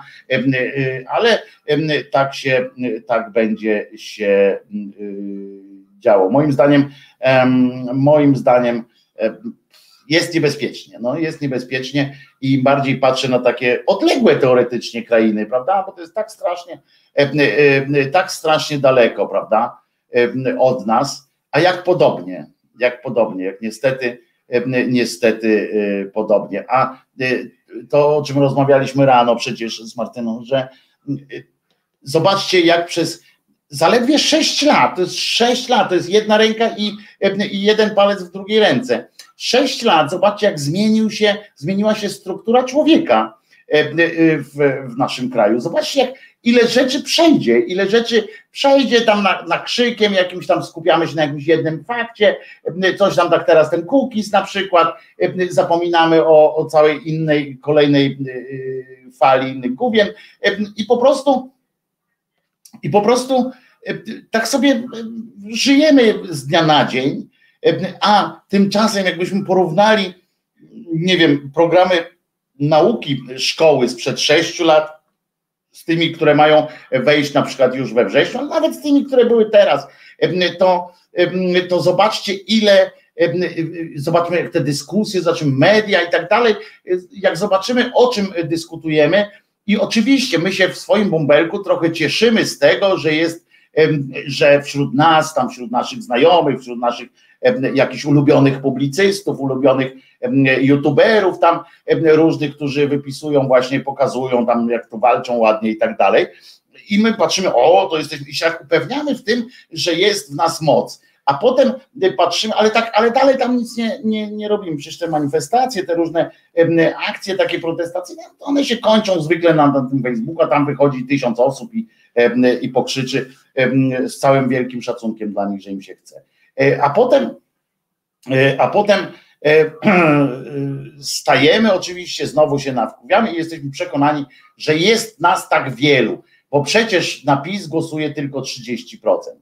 No ale dodajmy do tego tych ludzi, którzy nie głosują na nich, bo im się nie chce, bo, bo nie mogą, bo tam coś, ale, ale są zadowoleni z nich. Jak, jak zostaną odpowiednio umotywowani, to i oni też pójdą do tych wyborów. A my będziemy tak właśnie walczyli trochę trochę mm, zdalnie. No, tak przyzwyczailiśmy do tej zdalnej pracy i będziemy tak samo walczyli to zdalnie, uśpieni własnym, własnym takim spokojem. Ja zawsze będę chyba optował za tym, żeby wrzucać, na, żeby na Twitterach, na, na Facebookach wrzucać sobie obserwowanie również tego drugiego świata, tej drugiej części świata, po to, żeby pamiętać cały czas, że oni istnieją, że my się śmiejemy z szurów, tak, z tych takich e, radykalnych szurów. E, ja sam czasem przecież często puszczam e, różne piosenki i przez nich wykonywane w ramach takiego rozrywkowego kontentu, co jest potrzebne oczywiście, bo musimy sobie upuszczać powietrza i krwi,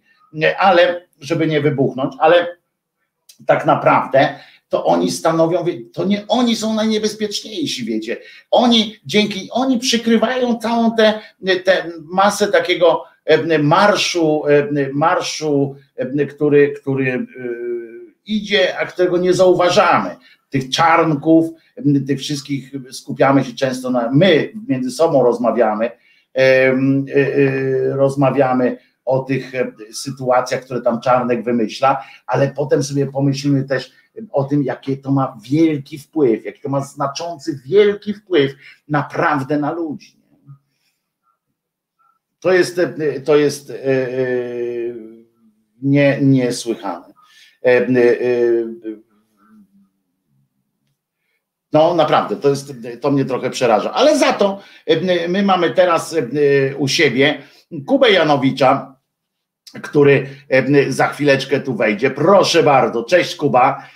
Kuba wrócił dopiero z, jak rozumiem, już wróciłeś, tak? Bo widzę, że to nie no jest. No niestety nie jest z przyczyn zawodowych moja żona została odwołana w trybie pilnym do, do, do pracy i musiała się stawić dzisiaj w pracy. No bo właśnie widzę, że to nie jest domek, że to nie jest domek. Nie, nie, nie. nie, nie wozisz ze sobą wszystkich książek się, i, i tak Nocą musieliśmy się ewakuować w trybie takim awaryjnym do, a ewakuował się Kuba z, ze zjazdu ateistów, na które zabrał mało tego jeden, nie dość, że z żoną pojechał, to jeszcze wzięli indoktrynować małoletnią progeniturę. I jak tam było na tym zjeździe? W Sulejowie, to był ten zjazd Sulejowy. W Sulejowie pod Łodzią. Że, że równolegle odbywał się inny zjazd innej opcji. Tak, bo ja w ogóle, trzeba wyjaśnić, że to był mój pierwszy zjazd ateistów. Pierwszy raz y, odważyłem się pojechać na taką imprezę. Było to dość ciekawe, prze, ciekawe, e, ciekawe przeżycie z racji tego, że y, no, spotkałem ludzi, którzy mają zbliżone poglądy do, do, do nas, do mnie, mm, do, do mojej rodziny i to było dość, e, dość ciekawe. Natomiast to, co mnie, najbar- to, co mnie najbardziej zaskoczyło, że było bardzo mało młodych ludzi, tak? Naprawdę? tak. E, byliśmy my, z takich ludzi w średnim wieku byliśmy my, no i jeszcze jedno, jedne małżeństwo, a tak to ludzie byli starsi nawet od ciebie, powiem ci. Nie ma starszych ode mnie. Niemożliwe, Wojtek. Ale dla, coś rozmawialiście o tym również, o tym, że, że nie ma e, tej nie było świeżej takiego, krwi? Wiesz co, była, była integracja taka e, bardziej ogólna na wieczorzku grillowym, tak, na takim wspólnym ognisku, ale generalnie tam się potworzyły raczej regionalne podstoliki i każdy raczej siedział w swoim bąbelku niż, e, niż tak wspólnie biesiadowania, przynajmniej do tego czasu, kiedy my byliśmy. Mm. E, natomiast mnie tam przytulił e, stolik krakowski, bo Zenek Kalafaticz mnie tam bardzo tam przytulił, przywitał, więc myśmy tam siedzieli właśnie bardziej ze stolikiem e, krakowsko-częstochowskim, nazwijmy to w ten sposób. Tak. Jak to brzmi, proszę ciebie, krakowsko-częstochowski stolik na zjeździe ateistów. No, natomiast oprócz tego jakieś tam fajne były niektóre, niektóre wykłady, bo ponieważ co do, co do niektórych miałem, miałem wątpliwości, czy w ogóle powinny się tam znaleźć, no, ale to już jest moje prywatne zdanie, moje prywatne przemyślenie. Ale no to jesteśmy jego ciekawi. Jakie tam były odczyty? O co, co się tam robi na takim? Bo jak rozumiem, na przykład program, jest zjazd chrześcijan, to sobie śpiewają. Sposób, że Czekaj, Kuba, bo jak jest zjazd chrześcijan, to sobie śpiewają piosenki chrześcijańskie, prawda? Na przykład teraz w telewizji leci. E, a co śpiewają, czy co robią e, e, ateiści? No, że spotykacie się i co? i mówicie, Boga nie ma, Boga nie ma. Właśnie paradoksalnie byłem zaskoczony, że niektóre tematy są czysto biblijne, na przykład tam, czy Maryja była w niebo wzięta, tak? Albo tak. Podczas albo, iniekcji, jak rozumiem, podczas iniekcji, czy była w niebo wzięta. Tak, albo, albo był też panel taki na temat, y, czy poglądy Jezusa były oryginalne, tak? Czy postać Jezusa, czy poglądy Jezusa były oryginalne. No właśnie. E, mnie to też tak trochę y, dziwiło, natomiast y, wymowy tych, tych, tych spotkań były całkiem, całkiem ciekawe. No to mów o nich. Mm, tam wiesz, nie, nie, chciałbym się, nie chciałbym się rozwodzić, bardziej, bardziej, e, bardziej przykładałem, bardziej mnie interesowały, wiesz, takie mm, rozmowy, rozmowy z ludźmi i, i, i z tymi właśnie mm, ludźmi, którzy już od, od wielu lat jeżdżą na, na, na te zjazdy i poznanie całego środowiska. I to dla mnie o tyle było ciekawe, że y, w sumie jak wszędzie ludzie są tylko ludźmi tam też y, są y, tam też są jakieś różne podziały, różne frakcje, mm, kłótnie pomiędzy różnymi stowarzyszeniami ateistów. To było dla mnie dość takie, bym powiedział, odkrywcze, że, że wszędzie, wszędzie jest tak, jak, jak wszędzie. Tak? Ale to jest tak, że przyjeżdżacie tam, witacie się oczywiście z staropolskim Boga nie ma, Boga nie ma. Witacie się, przywalacie sobie, odwracacie sobie krzyże na szyjach wzajemnie i, i potem jak już tam przyjdziecie, no to co, są jakieś odczyty, jakieś takie. Tak, są odczyty na zadane, na zadane tematy. Tam e, program, program jest dostępny w internecie, więc go nie będę tam jakoś się nad nim rozwodził. Natomiast były i dyskusje panelowe, takie w szerszym gronie, i były też takie odczyty monograficzne, tak? Bardzo ciekawy, bardzo ciekawy wykład miała pani profesor Senyszyn, która też tam od, od lat jeździ. I, I ona y, mówiła o mm, państwie i świeckości, tak? O, o tym. to jest jakiś jak, sens, no. no jak sens. należy do tego dążyć, tak? Mm, no wiadomo, że póki co w naszej opcji e, politycznej, która aktualnie pracuje, panuje, e, praca nad tym jest, y, powiedziałbym, dość utrudniona, jak nie żadna. Co nie znaczy, że nie należy na ten temat myśleć. No jakiś program że, można przygotować, z którym się potem... Że być może kiedyś nadejdzie taki czas, że będzie można spróbować e, przeprowadzić pewne zabiegi prawne, które pozwolą na zaprzestanie indoktrynacji e, Kościoła, w tym, w tym e, mówimy największego związku wyznaniowego, czyli Kościoła katolickiego w kraju, mhm. E, w, w politykę, tak? Aczkolwiek czy to się uda Moim zdaniem przede wszystkim w edukację powinno się, nie? Wiesz o co chodzi. Przede wszystkim tak, no, wiesz doskonale, bo dyskutujemy nieraz i, i prywatnie, i, w, w, szerszym gronie, że tak naprawdę wszystko zaczyna się i kończy na szkole. Tak? Jeżeli tam nie będzie e, pokładów e, otwartości, pokładów rozumienia, że ludzie są różni, no to tak naprawdę nigdzie tego nie będzie. Mhm. Tutaj pisze inkwizytor na czacie, wykłady o oryginalności poglądów Jezusa bardzo spoko. Poznanie drugiej strony dobre do dyskusji y, z talibami. No nie, to nie tego typu jest dyskusja z talibami, bo, e, bo dalej utrzymujesz, e, jak rozmawiasz z talibami, czy tam tymi naszymi talibami e, o oryginalności poglądów Jezusa, to dajesz im propsa, że Jezus miał jakieś poglądy i dajesz im propsa, że, że można, można uważać tak albo inaczej. To pamiętaj, inkwizytor to nie jest tego, wtedy się z nimi rozmawia o nie o poglądach czy o oryginalności, no bo co z tego, że, że pomysły Jezusa były nieoryginalne, no, no to, to co z tego, no. Pomysły Marksa też były nieoryginalne w jego towarzystwie, w jego środowisku, bo on z nimi gadał długo o takich sprawach, no. Ale to mnie trochę zdziwiłeś, że tam są tego typu tego typu ja też byłem zdziwiony. roz, rozważania. No, ale do czego dochodzili? Do, do czego? To, to, był, to był odczyt, czy to były dyskusje na ten temat? Znaczy, to był najpierw, to znaczy generalnie prowadzono to dość w, takim dość fajnym, fajnym klimacie na zasadzie tego, że tam prowadzący zaczynał jakąś myśl, krótkie, miał krótki, kilkunastominutowy tak? Minutowy speech, dłuższy, krótszy, to w zależności od tematu, a później raczej zachęcał do dyskusji, raczej tam poszczególni ludzie e, z różnych e, stron Polski, e, ateiści z różnych stron Polski tam przedstawiali swoje poglądy, czy mniej lub bardziej oryginalne, natomiast no, coś tam, każdy starał się coś tam dorzucić od siebie. No ja z racji tego, że po pierwsze byłem nowy w środowisku, po drugie z natury jestem nieśmiały, siadłem sobie z tyłu i tak raczej się przysłuchiwałem niż, niż za, zabierałem głos. Natomiast y, myślę, myślę że, że, że, że warto, warto wziąć y, w czymś takim udział, choćby po to, żeby wiedzieć, że mm, ta populacja ludzi, którzy myślą inaczej niż y, aktualnie panujące trendy, jest, jest dość duża, w sensie rozpoznawalna, tak? Mhm. Ale trochę mnie martwi tym, że się... tam młodych ludzi nie było, wiesz, trochę mnie martwi. Wiesz co, ja też byłem zaskoczony, tam taka średnia wieku była, była ba bardzo seniorska, bym powiedział. Natomiast no, trudno mi się do tego odnieść, co, co, co stoi za, e, za, za przyczyną tego.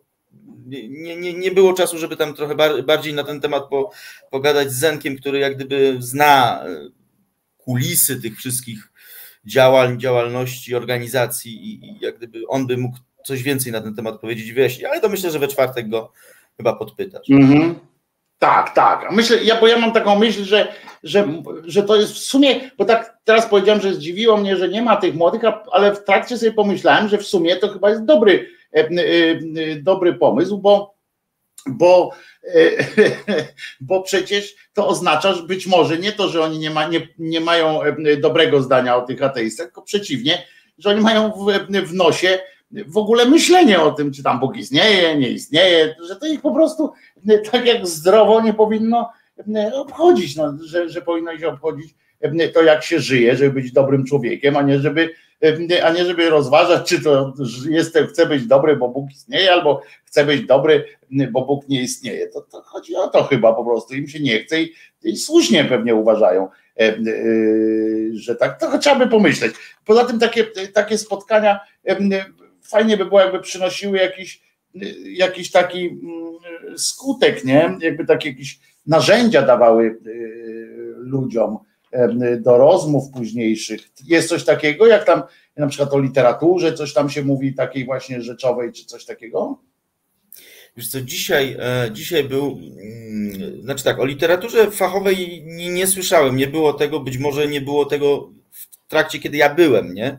To też, mhm. to też trzeba wziąć e, to też trzeba wziąć pod uwagę. To jest jedna sprawa. E, druga sprawa, mm, dzisiaj też był taki warsztat, mm, no w sumie w formie warsztatów miało to być zorganizowane, że mm, jak rozmawiać e, z wierzącymi, coś takiego. O, no.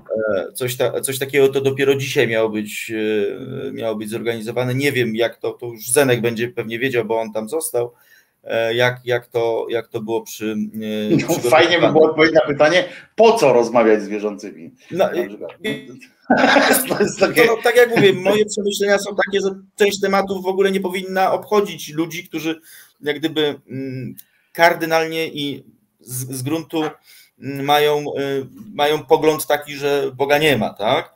To jest mhm. jak gdyby, to jest pierwszy, pierwszy punkt programu. Drugim punktem programu Mm, dla mnie mm, było też takie przemyślenie, że część e, ludzi, która tam przyjechała, tak przynajmniej to jest moje prywatne zdanie, od razu się podpisuję, e, myli e, ateizm z antyklerykalizmem, tak? To jest często. To, no. To jest jak gdyby drugi punkt z takich rozmów kularowych, więc mm, tak, z takimi dwiema, e, dwiema myślami e, wyjechałem stamtąd, e, pomimo tego, że nerwowo, nie? Myślę, że w przyszłym roku też, też, tam pojadę. Będę chciał namówić parę osób z naszego czatu, żeby, żeby się tam spotkać, żeby taką mocniejszą ekipą tam wjechać. To jest chyba też dobre nie, miejsce, żebyśmy w ogóle się spotkali taką ekipką fajną.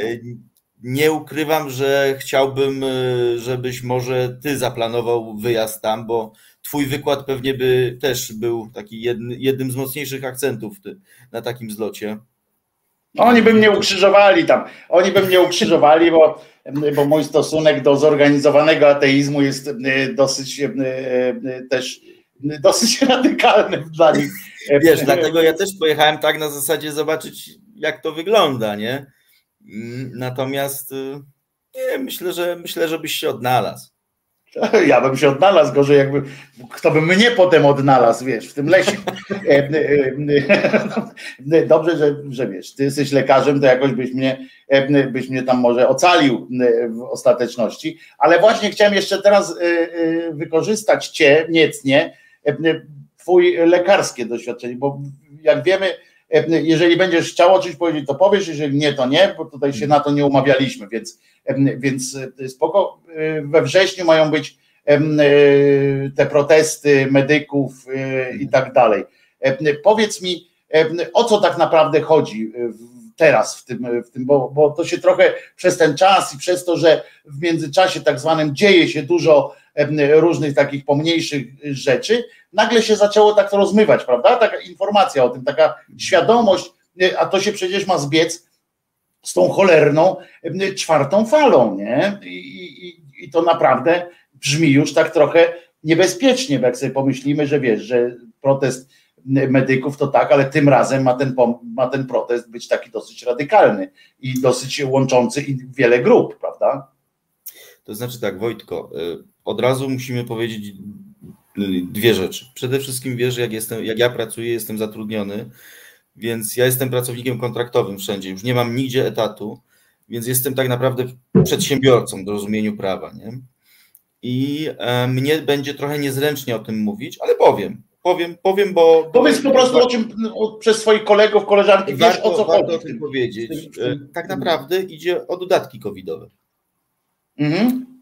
Chodzi o to, że przez półtora roku, przez okres trwania pandemii, no półtora roku, rok, nazwijmy, powiedzmy rok takiego konkretnego, konkretnej pracy, rzeczywiście rząd y, dał bardzo duże pieniądze na pensje dla pracowników służby ochrony zdrowia, tak?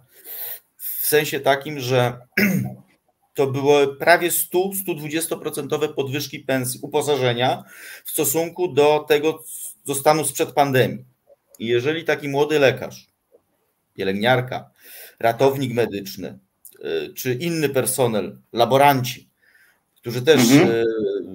Byli na posterunkach, bo musieli diagnozować e, każdego pacjenta, który wchodził do szpitala. On, każdy pacjent musiał mieć zrobiony test COVID i te laboratoria działały 24 godziny na dobę i mieliły te, te, te miliony próbek. Mhm. E, ol, olbrzymie pieniądze dali. Ludzie zaczęli naprawdę dobrze zarabiać. I to, I to uczciwie mówię, naprawdę dobrze zarabiać. I w pewnym momencie te pieniądze się skończyły, w tym sensie, że przestano wypłacać. Uznano, że już y, pandemia jest na tyle niegroźna, że nie trzeba wypłacać dodatków covidowych i ludzie wrócili do stanu sprzed e, do stanu pensji sprzed pandemii. Dodajmy, że to jest stan pensji bardzo nieprzyzwoitych. To nie jest, tak, tak to są pieniądze, które no, powiedzmy nie są satysfakcjonujące na, na kanwie tego, jak ciężki to jest zawód? Myślę tutaj bardziej o pielęgniarkach niż o, niż o lekarzach, tak, bo tak, tak mi się tak. zawsze to kojarzy, nie? O, o pielęgniarkach, ratownikach medycznych, którzy, którzy są naprawdę na pierwszej linii frontu, a dostają naprawdę czasem śmieszne pieniądze. Przez, y, przez te kilka, kilka miesięcy zarabiali naprawdę godnie. Czyli normalnie, bo też powiedzmy normalnie. jasno, że nie zarabiali normalnie. E, e, worków pieniędzy, tylko tak, że tak, znormalizowała im się do, do tak. normalnej jakiejś pensji. Tak, to była pensja, która, która rzeczywiście stanowiła uczciwe, uczciwą zapłatę za, za ciężką pracę. Więc jak gdyby ruch, ruch w, w całej branży medycznej, no ferment został zasiany, tak, że, że skoro da się płacić w trakcie pandemii mm, tak, jak, jak, jak to płacili, to dlaczego nie mogą płacić tak samo po pandemii, tak? Mhm. Poza tym tam ja dokładnie już nie studiuję, nie wnikam w te sprawy, bo akurat to jest poza mną, natomiast tam też chodzi o pewne postulaty, które też nie zostały spełnione wcześniej, przed jeszcze Mm, podczas tych pierwszych protestów, tak? Tutaj tam rezydenci coś tam. No właśnie, bo rezydenci tam mieli załatwione, a potem się ich olało, nie? Tak, tak, tak. No, ja, ja, tam mam swoje poglądy na ten temat. Kiedyś rozmawialiśmy na ten temat. To jest jak gdyby jeszcze do, e, do pogadania. Natomiast e, prawdą jest, że zostali po prostu no, wydymani, mówiąc. A w jakiej, w jakiej teraz bo ty masz, bo ty masz też, jesteś w rodzinie medycznej, masz też przyjaciół medyków, obracasz się wśród, wśród etatowych, też pracujesz w szpitalach i tak dalej, i tak dalej. Więc powiedz mi tak naprawdę, tak od, od twojej strony, jesteśmy bezpieczni czy nie? Tak. Medycznie. Tak. Jeżeli chodzi o personel, jeżeli chodzi o, o, o wyposażenie, rzeczywiście tego nie było w pierwszych miesiącach pandemii. Rzeczywiście brakowało wszystkiego.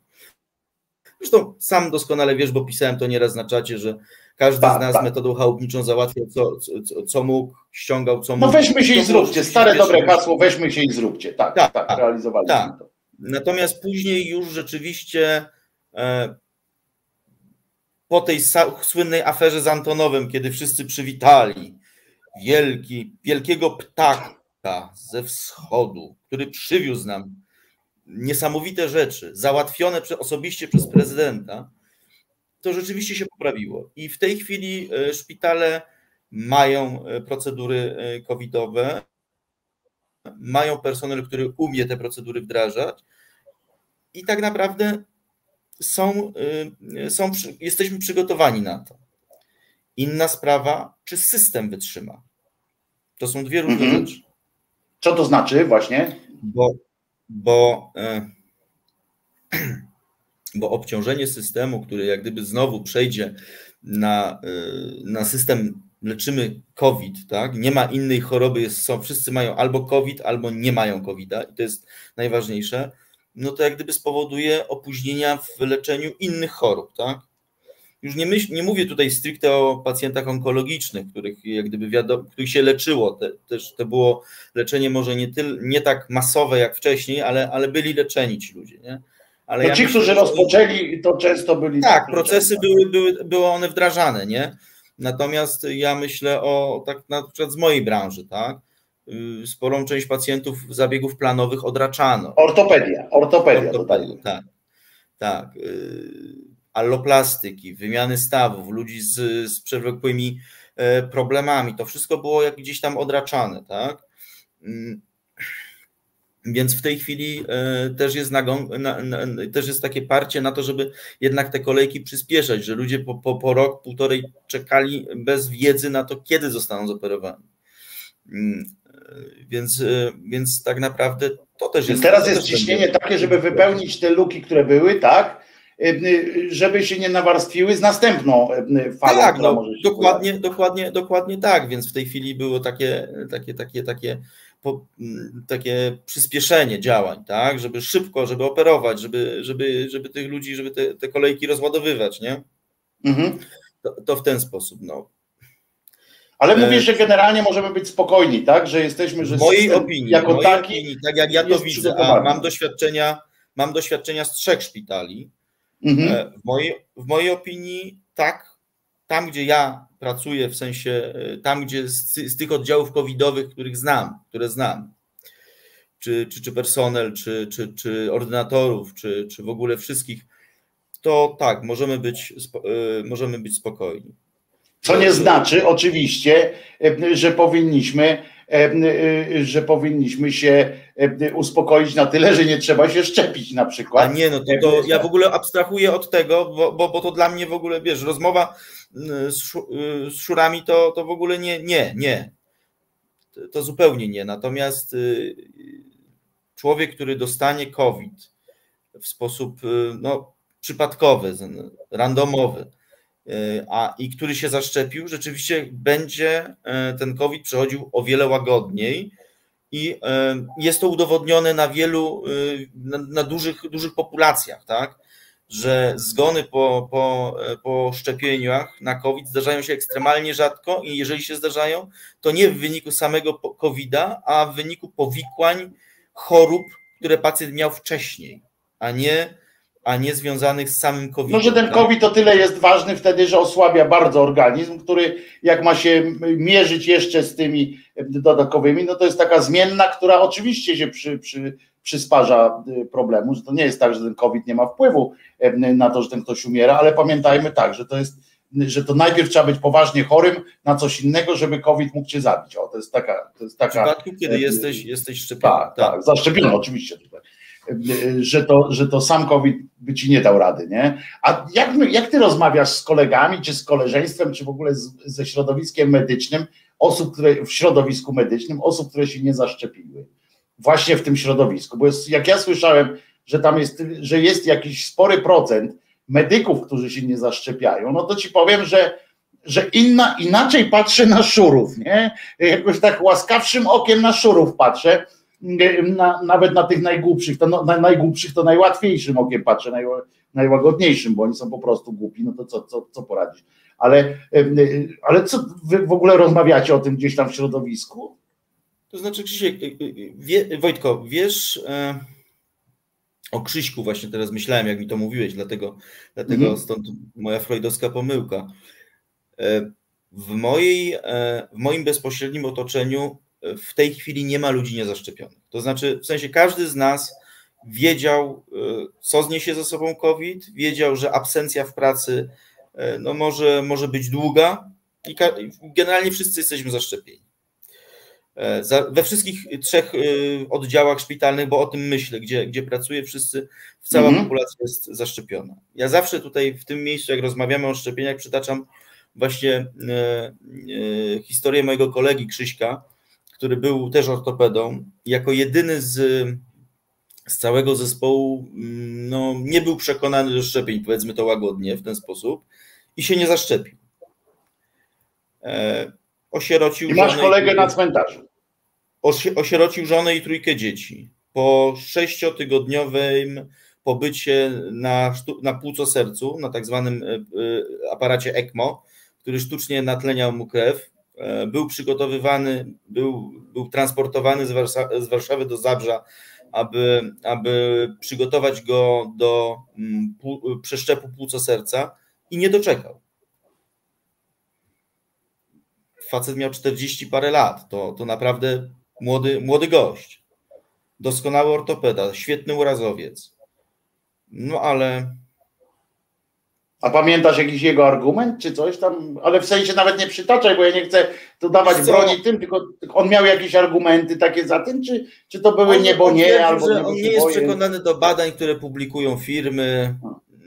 Wiesz, y, taka, taka stara, y, wiesz, taka stary, stare teksty, że to jest spisek firm farmaceutycznych, jakiś taki, wiesz. A rozmawiacie w ogóle, czy ty gdzieś uczestniczysz, bo tam rozmawiasz z różnymi jest ten temat w ogóle jakoś poruszany w, w towarzystwie, czy, czy on jest taki, wiesz, jak- czy jest taki jak- przemilczany, wiesz o co chodzi, taki, taki, że niewygodny temat, to lepiej go nie poruszać. Znaczy, między lekarzami raczej rzadko, y, rzadko się, y, się słyszy, że, znaczy, że, że, że to jest niewygodne, czy, czy że generalnie wszyscy, wszyscy są, zaszczepieni, bo, bo, bo, bo tak było wygodniej i pewniej i mniej, e, mniej strachu, nie? Natomiast czasem zdarzają się, szczególnie w przychodniach, pa- pacjenci, którzy tam próbują cię jakoś tam podpuścić, że a on nie wierzy w pandemię, albo tu panie doktorze, tu tam, bo to czy się szczepić, czy się nie szczepić. Ja zawsze mówię, że się szczepić, ale ja nie wierzę w tą pandemię. Ja zawsze mam na to jeden tekst, zresztą sam kiedyś ci go, ci go mówiłem, mogę powtórzyć tutaj publicznie, że Proszę bardzo. Ja zawsze mówię w ten sposób, wie pan, wie pani, ja też nie wierzę w pandemię, ale ja wierzę w worki na ciała, a ostatnio ich się więcej sprzedaje. I wtedy, i wtedy prawda, na dzieci się, prawda. rozmawia się kończy. Niestety prawda to jest taka. e, e, I, ale jestem ciekaw, e, co stoi. Ja kiedyś próbowałem jednego lekarza, takiego z- ze swoich znajomych, prawda, który też się okazało, że się nie szczepi. Próbowałem go zapytać, wiesz, tak mówię, powiedz mi po prostu tak po ludzku. Mówię, ja nie chcę tego publikować nigdzie, nie chcę nic, po prostu powiedz mi po koleżeńsku, to on odpowiedział mi właśnie tak, no i tak tego nie zrozumiesz, bo, bo jesteś tam zindoktrynowany, wiadomo, i tak dalej, i tak dalej, i tak nie chcesz mnie zrozumieć, więc, więc co ja ci będę gadał, szczep się jak chcesz, ja się nigdy nie zaszczepię. No to, on jeszcze żyje, no ale przynajmniej widzę czasami zielone kółeczko przy Messengerze, nie wiem, czy to może jego żona już tylko sprawdza i wysyła informacje o tym, kiedy umarł jej mąż, ale, ale no to jest przykre, jak się tak wie o tych medykach. A co ty, co byś powiedział takiemu medykowi, jakby ci jakiś medyk przyszedł, jakbyś, jakbyś usiadł, wiesz, biurko w biurko, czy tam gabinet w gabinet z jakimś takim, bo przecież wy macie też tam w szpitalach, także siedzicie no, w pomieszczeniach obok, tak, ale, ale jakoś tak blisko tak. siebie. Co byś powiedział takiemu, jakbyś się dowiedział, że, że on się nie zaszczepił, to, to, to co byś powiedział mu? Szczerze? No, szczerze, bardzo szczerze i to tak, jakby nas nikt nie słyszał teraz. Co ty pierdolisz? No więc właśnie, nie? Co ty pierdolisz? A on by ci powiedział, a on by ci by cię strzelił gumową, gumową kulką i tak byście sobie pogadali niestety. Taka jest, taka jest prawda. Ja, to jest jakoś e, smutne z tymi, z tymi medykami, że, e, że nie. Ale jesteś za obowiązkowym szczepieniem, czy nie? W sensie jakby ten COVID. E, jesteś za wprowadzeniem go, na, wciągnięciem tak. go na listę? Tak. A tak. Za, za zakazem pracy na przykład tam i tak dalej, w sensie, że firmy mia, mia, mają prawo powiedzieć, że przedsiębiorca, bo już nie mówię o państwowych firmach na, na razie, tylko o przedsiębiorcach, że przedsiębiorca ma prawo bo do tego go rząd namawia teraz, tak, że, żeby bo znowu chce zdjąć odpowiedzialność z siebie i przenieść na przedsiębiorcę, Wiesz, ja że przedsiębiorca jest... może powiedzieć pracownikowi, nie wpuszczę cię za bramę i nie będziesz zarabiał. Dopóki Wojtek, znasz mnie dobrze i wiesz, że jestem fanem medycyny prewencyjnej i w mojej opinii ludzie powinni się szczepić na wszystko, bo szczepionki jest to jedna z niewielu naprawdę prawdziwych zdobyczy medycyny, która z nami zostanie po wsze czasy możliwość uodpornienia się na, e, na choroby, które, możliwość wyeliminowania niektórych chorób w ogóle z naszego, e, nazwijmy to, medycznego otoczenia, typu Heinego Medina, która choroba, która jeszcze kilkadziesiąt lat temu e, tworzyła pokolenia kalek, tak? Pokolenia kalek. E, to mnie przygotowującego się do, e, do, do, do, do egzaminu specjalizacyjnego jeszcze uczyliśmy się o, o tym, jak leczyć, e, jak leczyć powikłania ortopedyczne po Heinego Medinie. Obecni, obecni ortopedzi już się tego nie uczą, bo to choroba o znaczeniu historycznym, tak? Ja w, swoim, ja w swoim lekarskim życiu nie widziałem osoby, która miałaby powikłania po Heinego Medinie, tak? W moim tak, a to jest, a widzisz, a w moim pokoleniu to jeszcze się zdarzały. To nie były, to może to już nie było, wiesz, na zasadzie epidemicznej takiej, ale miałem e, jeszcze znajomych, którzy jeszcze tam gdzieś mieli rodziców na przykład po powikłaniach albo rodziców z Natomiast nauczycielkę do... miałem, nauczycielkę miałem, e, która wiesz, chodziła o tych kulach i e, bo to było wracając, tak, no to... wracając już tylko odpowiadając ci na, precyzyjnie na pytanie, uważam, tak, uważam, że pra, e, pracodawca, czy człowiek, który zatrudnia kogoś, ma prawo czuć się bezpiecznie o swój biznes. Bo jeżeli jedna osoba zakażona wpuści na teren zakładu, załóżmy, że jest to zakład, który zatrudnia tysiąc osób, i następnego dnia, czy za trzy dni nie przyjdzie mu do pracy 700 osób, bo wszyscy są albo zakażeni, albo boją się zakażenia, albo są w kwarantannie, bo mieli kontakt, na przykład na stołówce z, z tym gentlemanem czy, czy z tą panią, e, no to jemu biznes e, siądzie, tak? Więc uważam, mhm. że taki człowiek ma prawo czuć się bezpiecznie.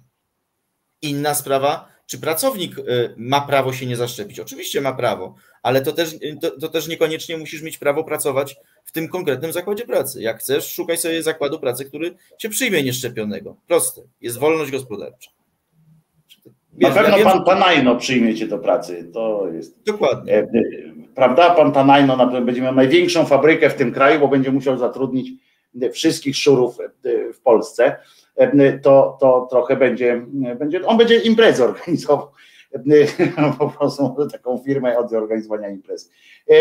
Fajnie było Cię zobaczyć, fajnie, że, że wpadłeś tam na ten, na ten zjazd.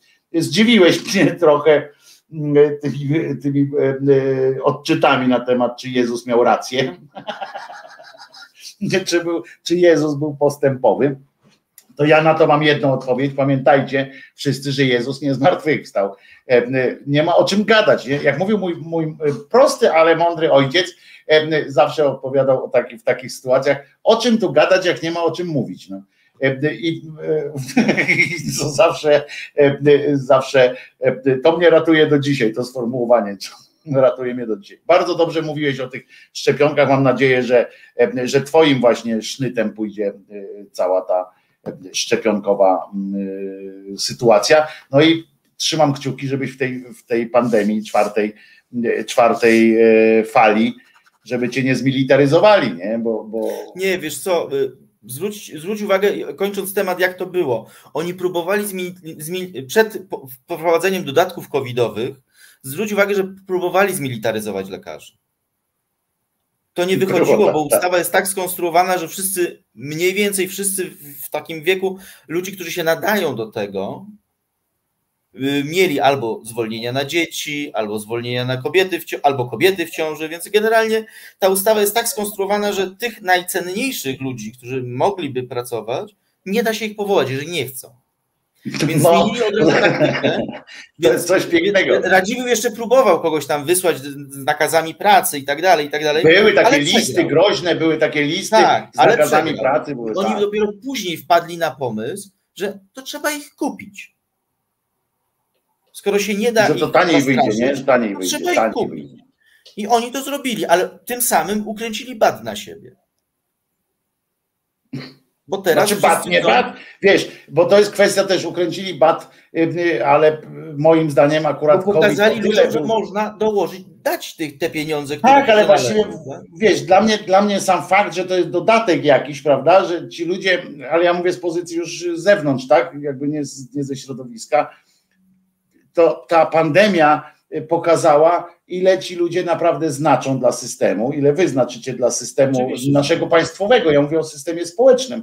E, ile, e, ile znaczycie, i to mówię o tych medykach, właśnie o e, ratownikach, o, o paniach salowych, które ja pamiętam, jak ta pierwsza fala, taka była ta pierwsza, druga, tak, te, te, te połączone ze sobą, te dwie pierwsze, jak jak mało mówiono o personelu pomocniczym, który poza pielęgniarkami, prawda? O czym personelu całym, który kurczę, wiecie, naprawdę nie jest mniejszym zagrożeniem covidowym chodzenie y, ze szmatą, po, ze ścierką, ze szmatą po całym oddziale, wycieranie każdego kącika to naprawdę nie, nie zmniejsza tylko dlatego, że nie jesteś pielęgniarką czy lekarzem. Przebywanie w tym, wirus nie wybierał tam, nie, że tylko w lekarza celował albo tak. tylko w pielęgniarkę. Naprawdę. Nie, oczywiście, tak, że te, kobiety... cały personel, nazwijmy to brzydko pomocniczy, bo tak to się w żargonie nazywa. No tak, tak. No właśnie robi niesamowitą tak. robotę i ich też, ich, ich też trzeba docenić w pewnym momencie. Nie? I, i, i wiesz, jak nagle nawet... pokazano, pokazano, że system, e, e, e, słusznie, system wy, wytrzymał, prawda, dofinansowanie, w sensie, że nagle pieniądze tak. się pojawiły w tym i nagle się okazało, że kraj ma 11% PKB, że pieniędzy jak gnoju, mimo że poza ustawowo, w sensie poza tym ustawowym tam sześcioma, tam czterema PKB, przekazano więcej pieniędzy tak ręcznie, tak, na, na te dodatki i nagle się okazało, że można. Czyli, czyli e, to nie jest tak, że naszego państwa, ja rozumiem teraz ten protest na przykład środowisk medycznych e, i to całego tego środowiska medycznego, e, rozumiem, że oni mówią, no, no, no ludzie, dlaczego my mamy teraz czekać kolejne tamte dwa lata, aż to do tego sześciu tam dojdzie i tak dalej, skoro co, codziennie słyszymy w wiadomościach, że świat jest, że jesteśmy coraz bogatsi, że jako jedyny kraj z tej, wychodzimy z tej pandemii właśnie 11% PKB wzrostu. To, to ostatnio to chyba w Stanach Zjednoczonych w 30 roku tak było. A świat nam zazdrości wszystkiego. Tak, świat nam zazdrości wszystkiego, a wy nam chcecie odebrać tysiąc złotych, rozumiesz, e, e, dodatku na przykład, prawda? E, który nie wpłynął, który nie wpłynął na, na, na upadek tego, tego kraju. I, I okazało się, że po prostu stać ten kraj na to, stać. To pewnie z jakichś tam pożyczek i tak dalej. Ale to już mnie nie powinno, do, do organizatorzy tego byli. I teraz wiesz, przyjść i ludziom powiedzieć, no to już nie jesteście mi potrzebni. No to zabieram wam, nie?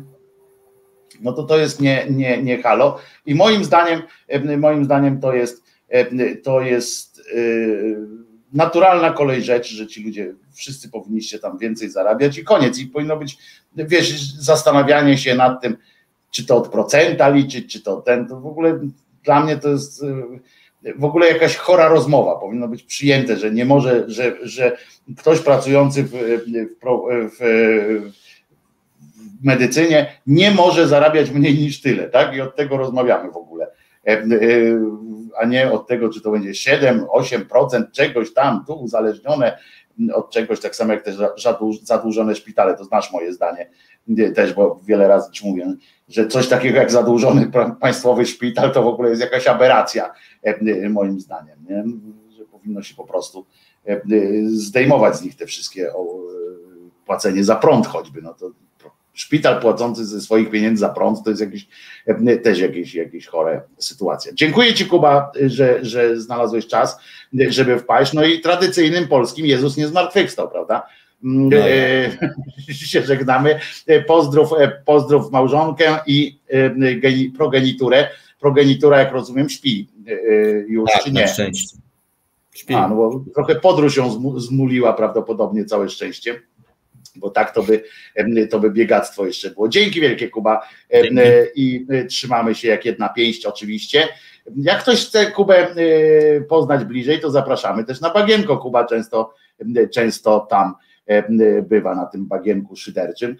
Także bardzo dziękujemy. A ja jeszcze chciałem oczywiście powiedzieć o takich rzeczach, które na koniec już tylko zasygnalizować je w każdym razie tylko, bo, bo jednak podsumowujemy też e, tydzień. Chciałem przypomnieć Wam, e, że w tym tygodniu, o czym będziemy pewnie od poniedziałku dalej e, mówili, przypomnę, że Czarnecki jednak jest prawdziwym kandydatem na szefa Polskiego Związku Piłki Siatkowej, czyli generalnie chodzi o to, że już, już chrust zbierają i butelki żeby y, sprzedać.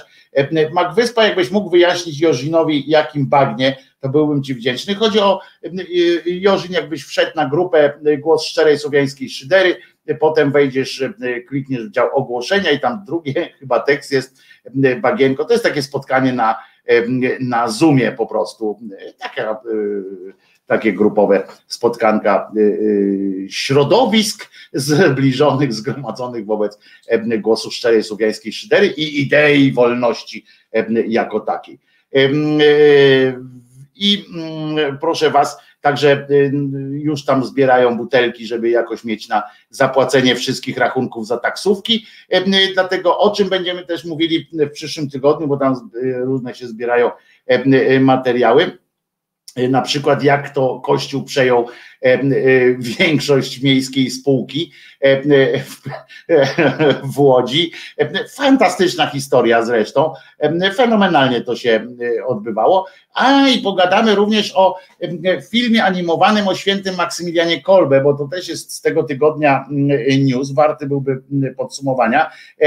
Film się nazywa, uwaga, Szalony Max E, więc e, to będzie e, dobre. Poległ Hozer 13 w piątek, czyli wcale to nie jest taka znowu zła data.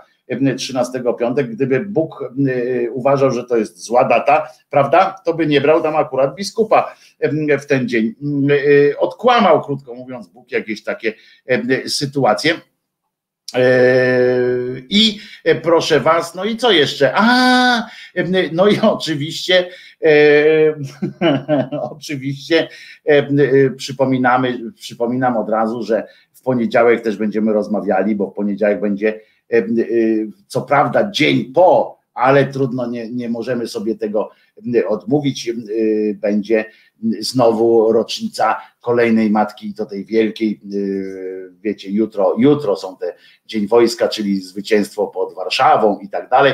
No i z tym związane oczywiście w niebo wzięcie matki. Pamiętamy, że tam była taka sytuacja, w której y, Sowieci szli, szli, szli i nagle, rozumiecie, y, pojawiła im się y, w pełnej okazałości Matka Boska w płomieniach, prawdopodobnie nago a wiemy, że to, że to problem mógł być dla armii sowieckiej i poszli w buraki, po prostu się wycofali, dlatego wygraliśmy, dlatego jest cud nad Wisłą. Także, także to jest w ten sposób. I, I będziemy, i też chciałem powiedzieć, ale już teraz nie, nie będę się napinał, o pewnym mobilnym oratorium uwielbienia, więc to zapraszam już o 10 w poniedziałek do szczerej szydery. To co? Dziękujemy bardzo. W takim razie, Krzysiu, bardzo Ci dziękuję za pomoc w realizacji tego, za realizację, nie pomoc, ale za pomoc w ogarnięciu sytuacji z panem Radkiem i z Kubą. Także mam nadzieję, że będziecie zdrowi. Jutro Krzyżaniak ma wolnego trochę, ale za to spotykam się z ekipą Resetu jutro w naszej nowej siedzibie, właśnie w nowej, w pierwszej siedzibie. Jutro będziemy sobie zdjęcia strzelali, więc niedługo zobaczycie efekt tego. Była trwała walka o to, żeby się zjawił tam również Krzysztof Eles, który chciał myknąć, ale tam jakimś nawet ludzkim sposobem. Krzysztof będzie też na tych zdjęciach. Nie pozwoliliśmy na to, żeby odbyły się zdjęcia, zdjęcia grupowe bez naszego kochanego realizatora Krzysztofa, więc, więc po prostu to będzie i już musi być na tych zdjęciach. Fajne mam nadzieję będą te zdjęcia. Jutro będziemy się pstrykać. Zobaczymy jak będzie fajnie, byleby nie było tak gorąco jak dzisiaj, bo tam pewnie klimy nie ma, a dzisiaj było naprawdę bardzo źle. No to co, tradycyjnym Jezus nie zmartwychwstał, się pożegnamy, życząc, życzę Wam udanej, bardzo udanej niedzieli, tu laski dla Czesinka i do poniedziałku, pisze kometa, tak, Czesinek chorował, ale krótko teraz jest zadowolony, teraz muszę mu jeszcze obciąć pazur bo mu się tak wiecie, wiecie o co chodzi, a nie zauważyłem wczoraj u tego, przedwczoraj u tego doktora. No to co? Ściskam was wszystkich na wysokości bioder, bo niżej ni cholery, nie, do kolan się już nie schylę. Trzymajcie się i pamiętajcie, Wojtek Krzyżaniak, głos szczerej słowiańskiej szydery w resecie obywatelskim, a jutro, jutro oczywiście kolejne szalone audycje e, i pamiętajcie też o wsparciu resetu. Tam, gdzie tylko możemy. Zagrajmy coś fajnego jeszcze Wyspa y, tu zaproponował, więc może o tych, y, jakbyś miał tam Krzysiu pod ręką, to tam może o tych, na tych, na tych milicjantów, co tam e, e, trzeba mm, narobić. Y, także, także jak, jak masz oczywiście, bo teraz nie umawialiśmy się na to, więc nie będzie. Nie będę miał pretensji, jeśli nie, ale przedłużam teraz, żebyś ewentualnie przewinął. Dobra, wszystkiego, y, wszystkiego Wam y, dobrego życzę.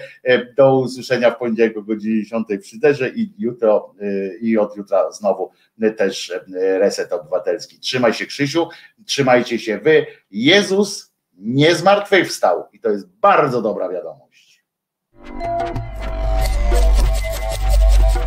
Reset Obywatelski.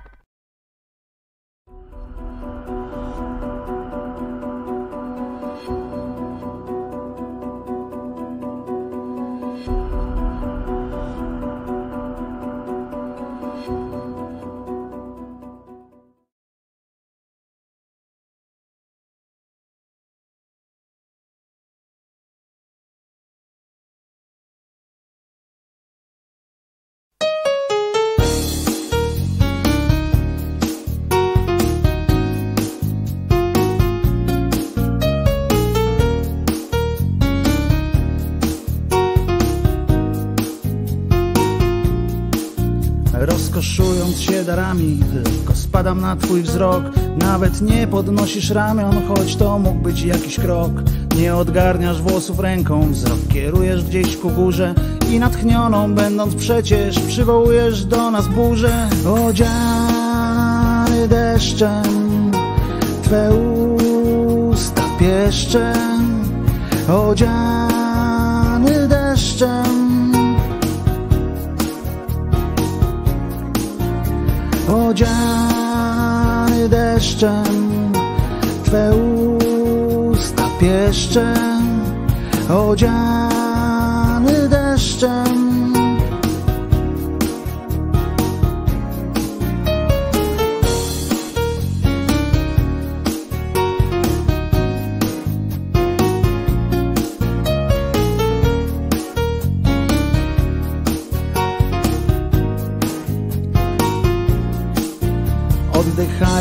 Oddechami Wyrzucasz z siebie potok słów. A gdy pytasz mnie czy przestać Zawsze odpowiadam mów. Patrzysz na mnie jakoś dziwnie Powiększone masz źrenice I natchnioną będąc przecież Przywołujesz błyskawice. Odziany deszczem Twe usta pieszczem Odziany deszczem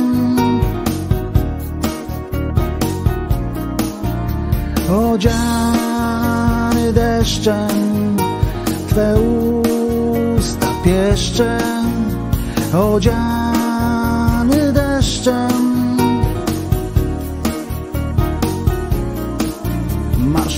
W uśmiechu nocą Wciąż piękniejszą jesteś i Ciągle bardziej zapatrzony Beznamiętnie mijam sny. Ty odgarniasz włosy ręką Ty poruszasz ramionami I natchniona przywołujesz Do nas burzę z piorunami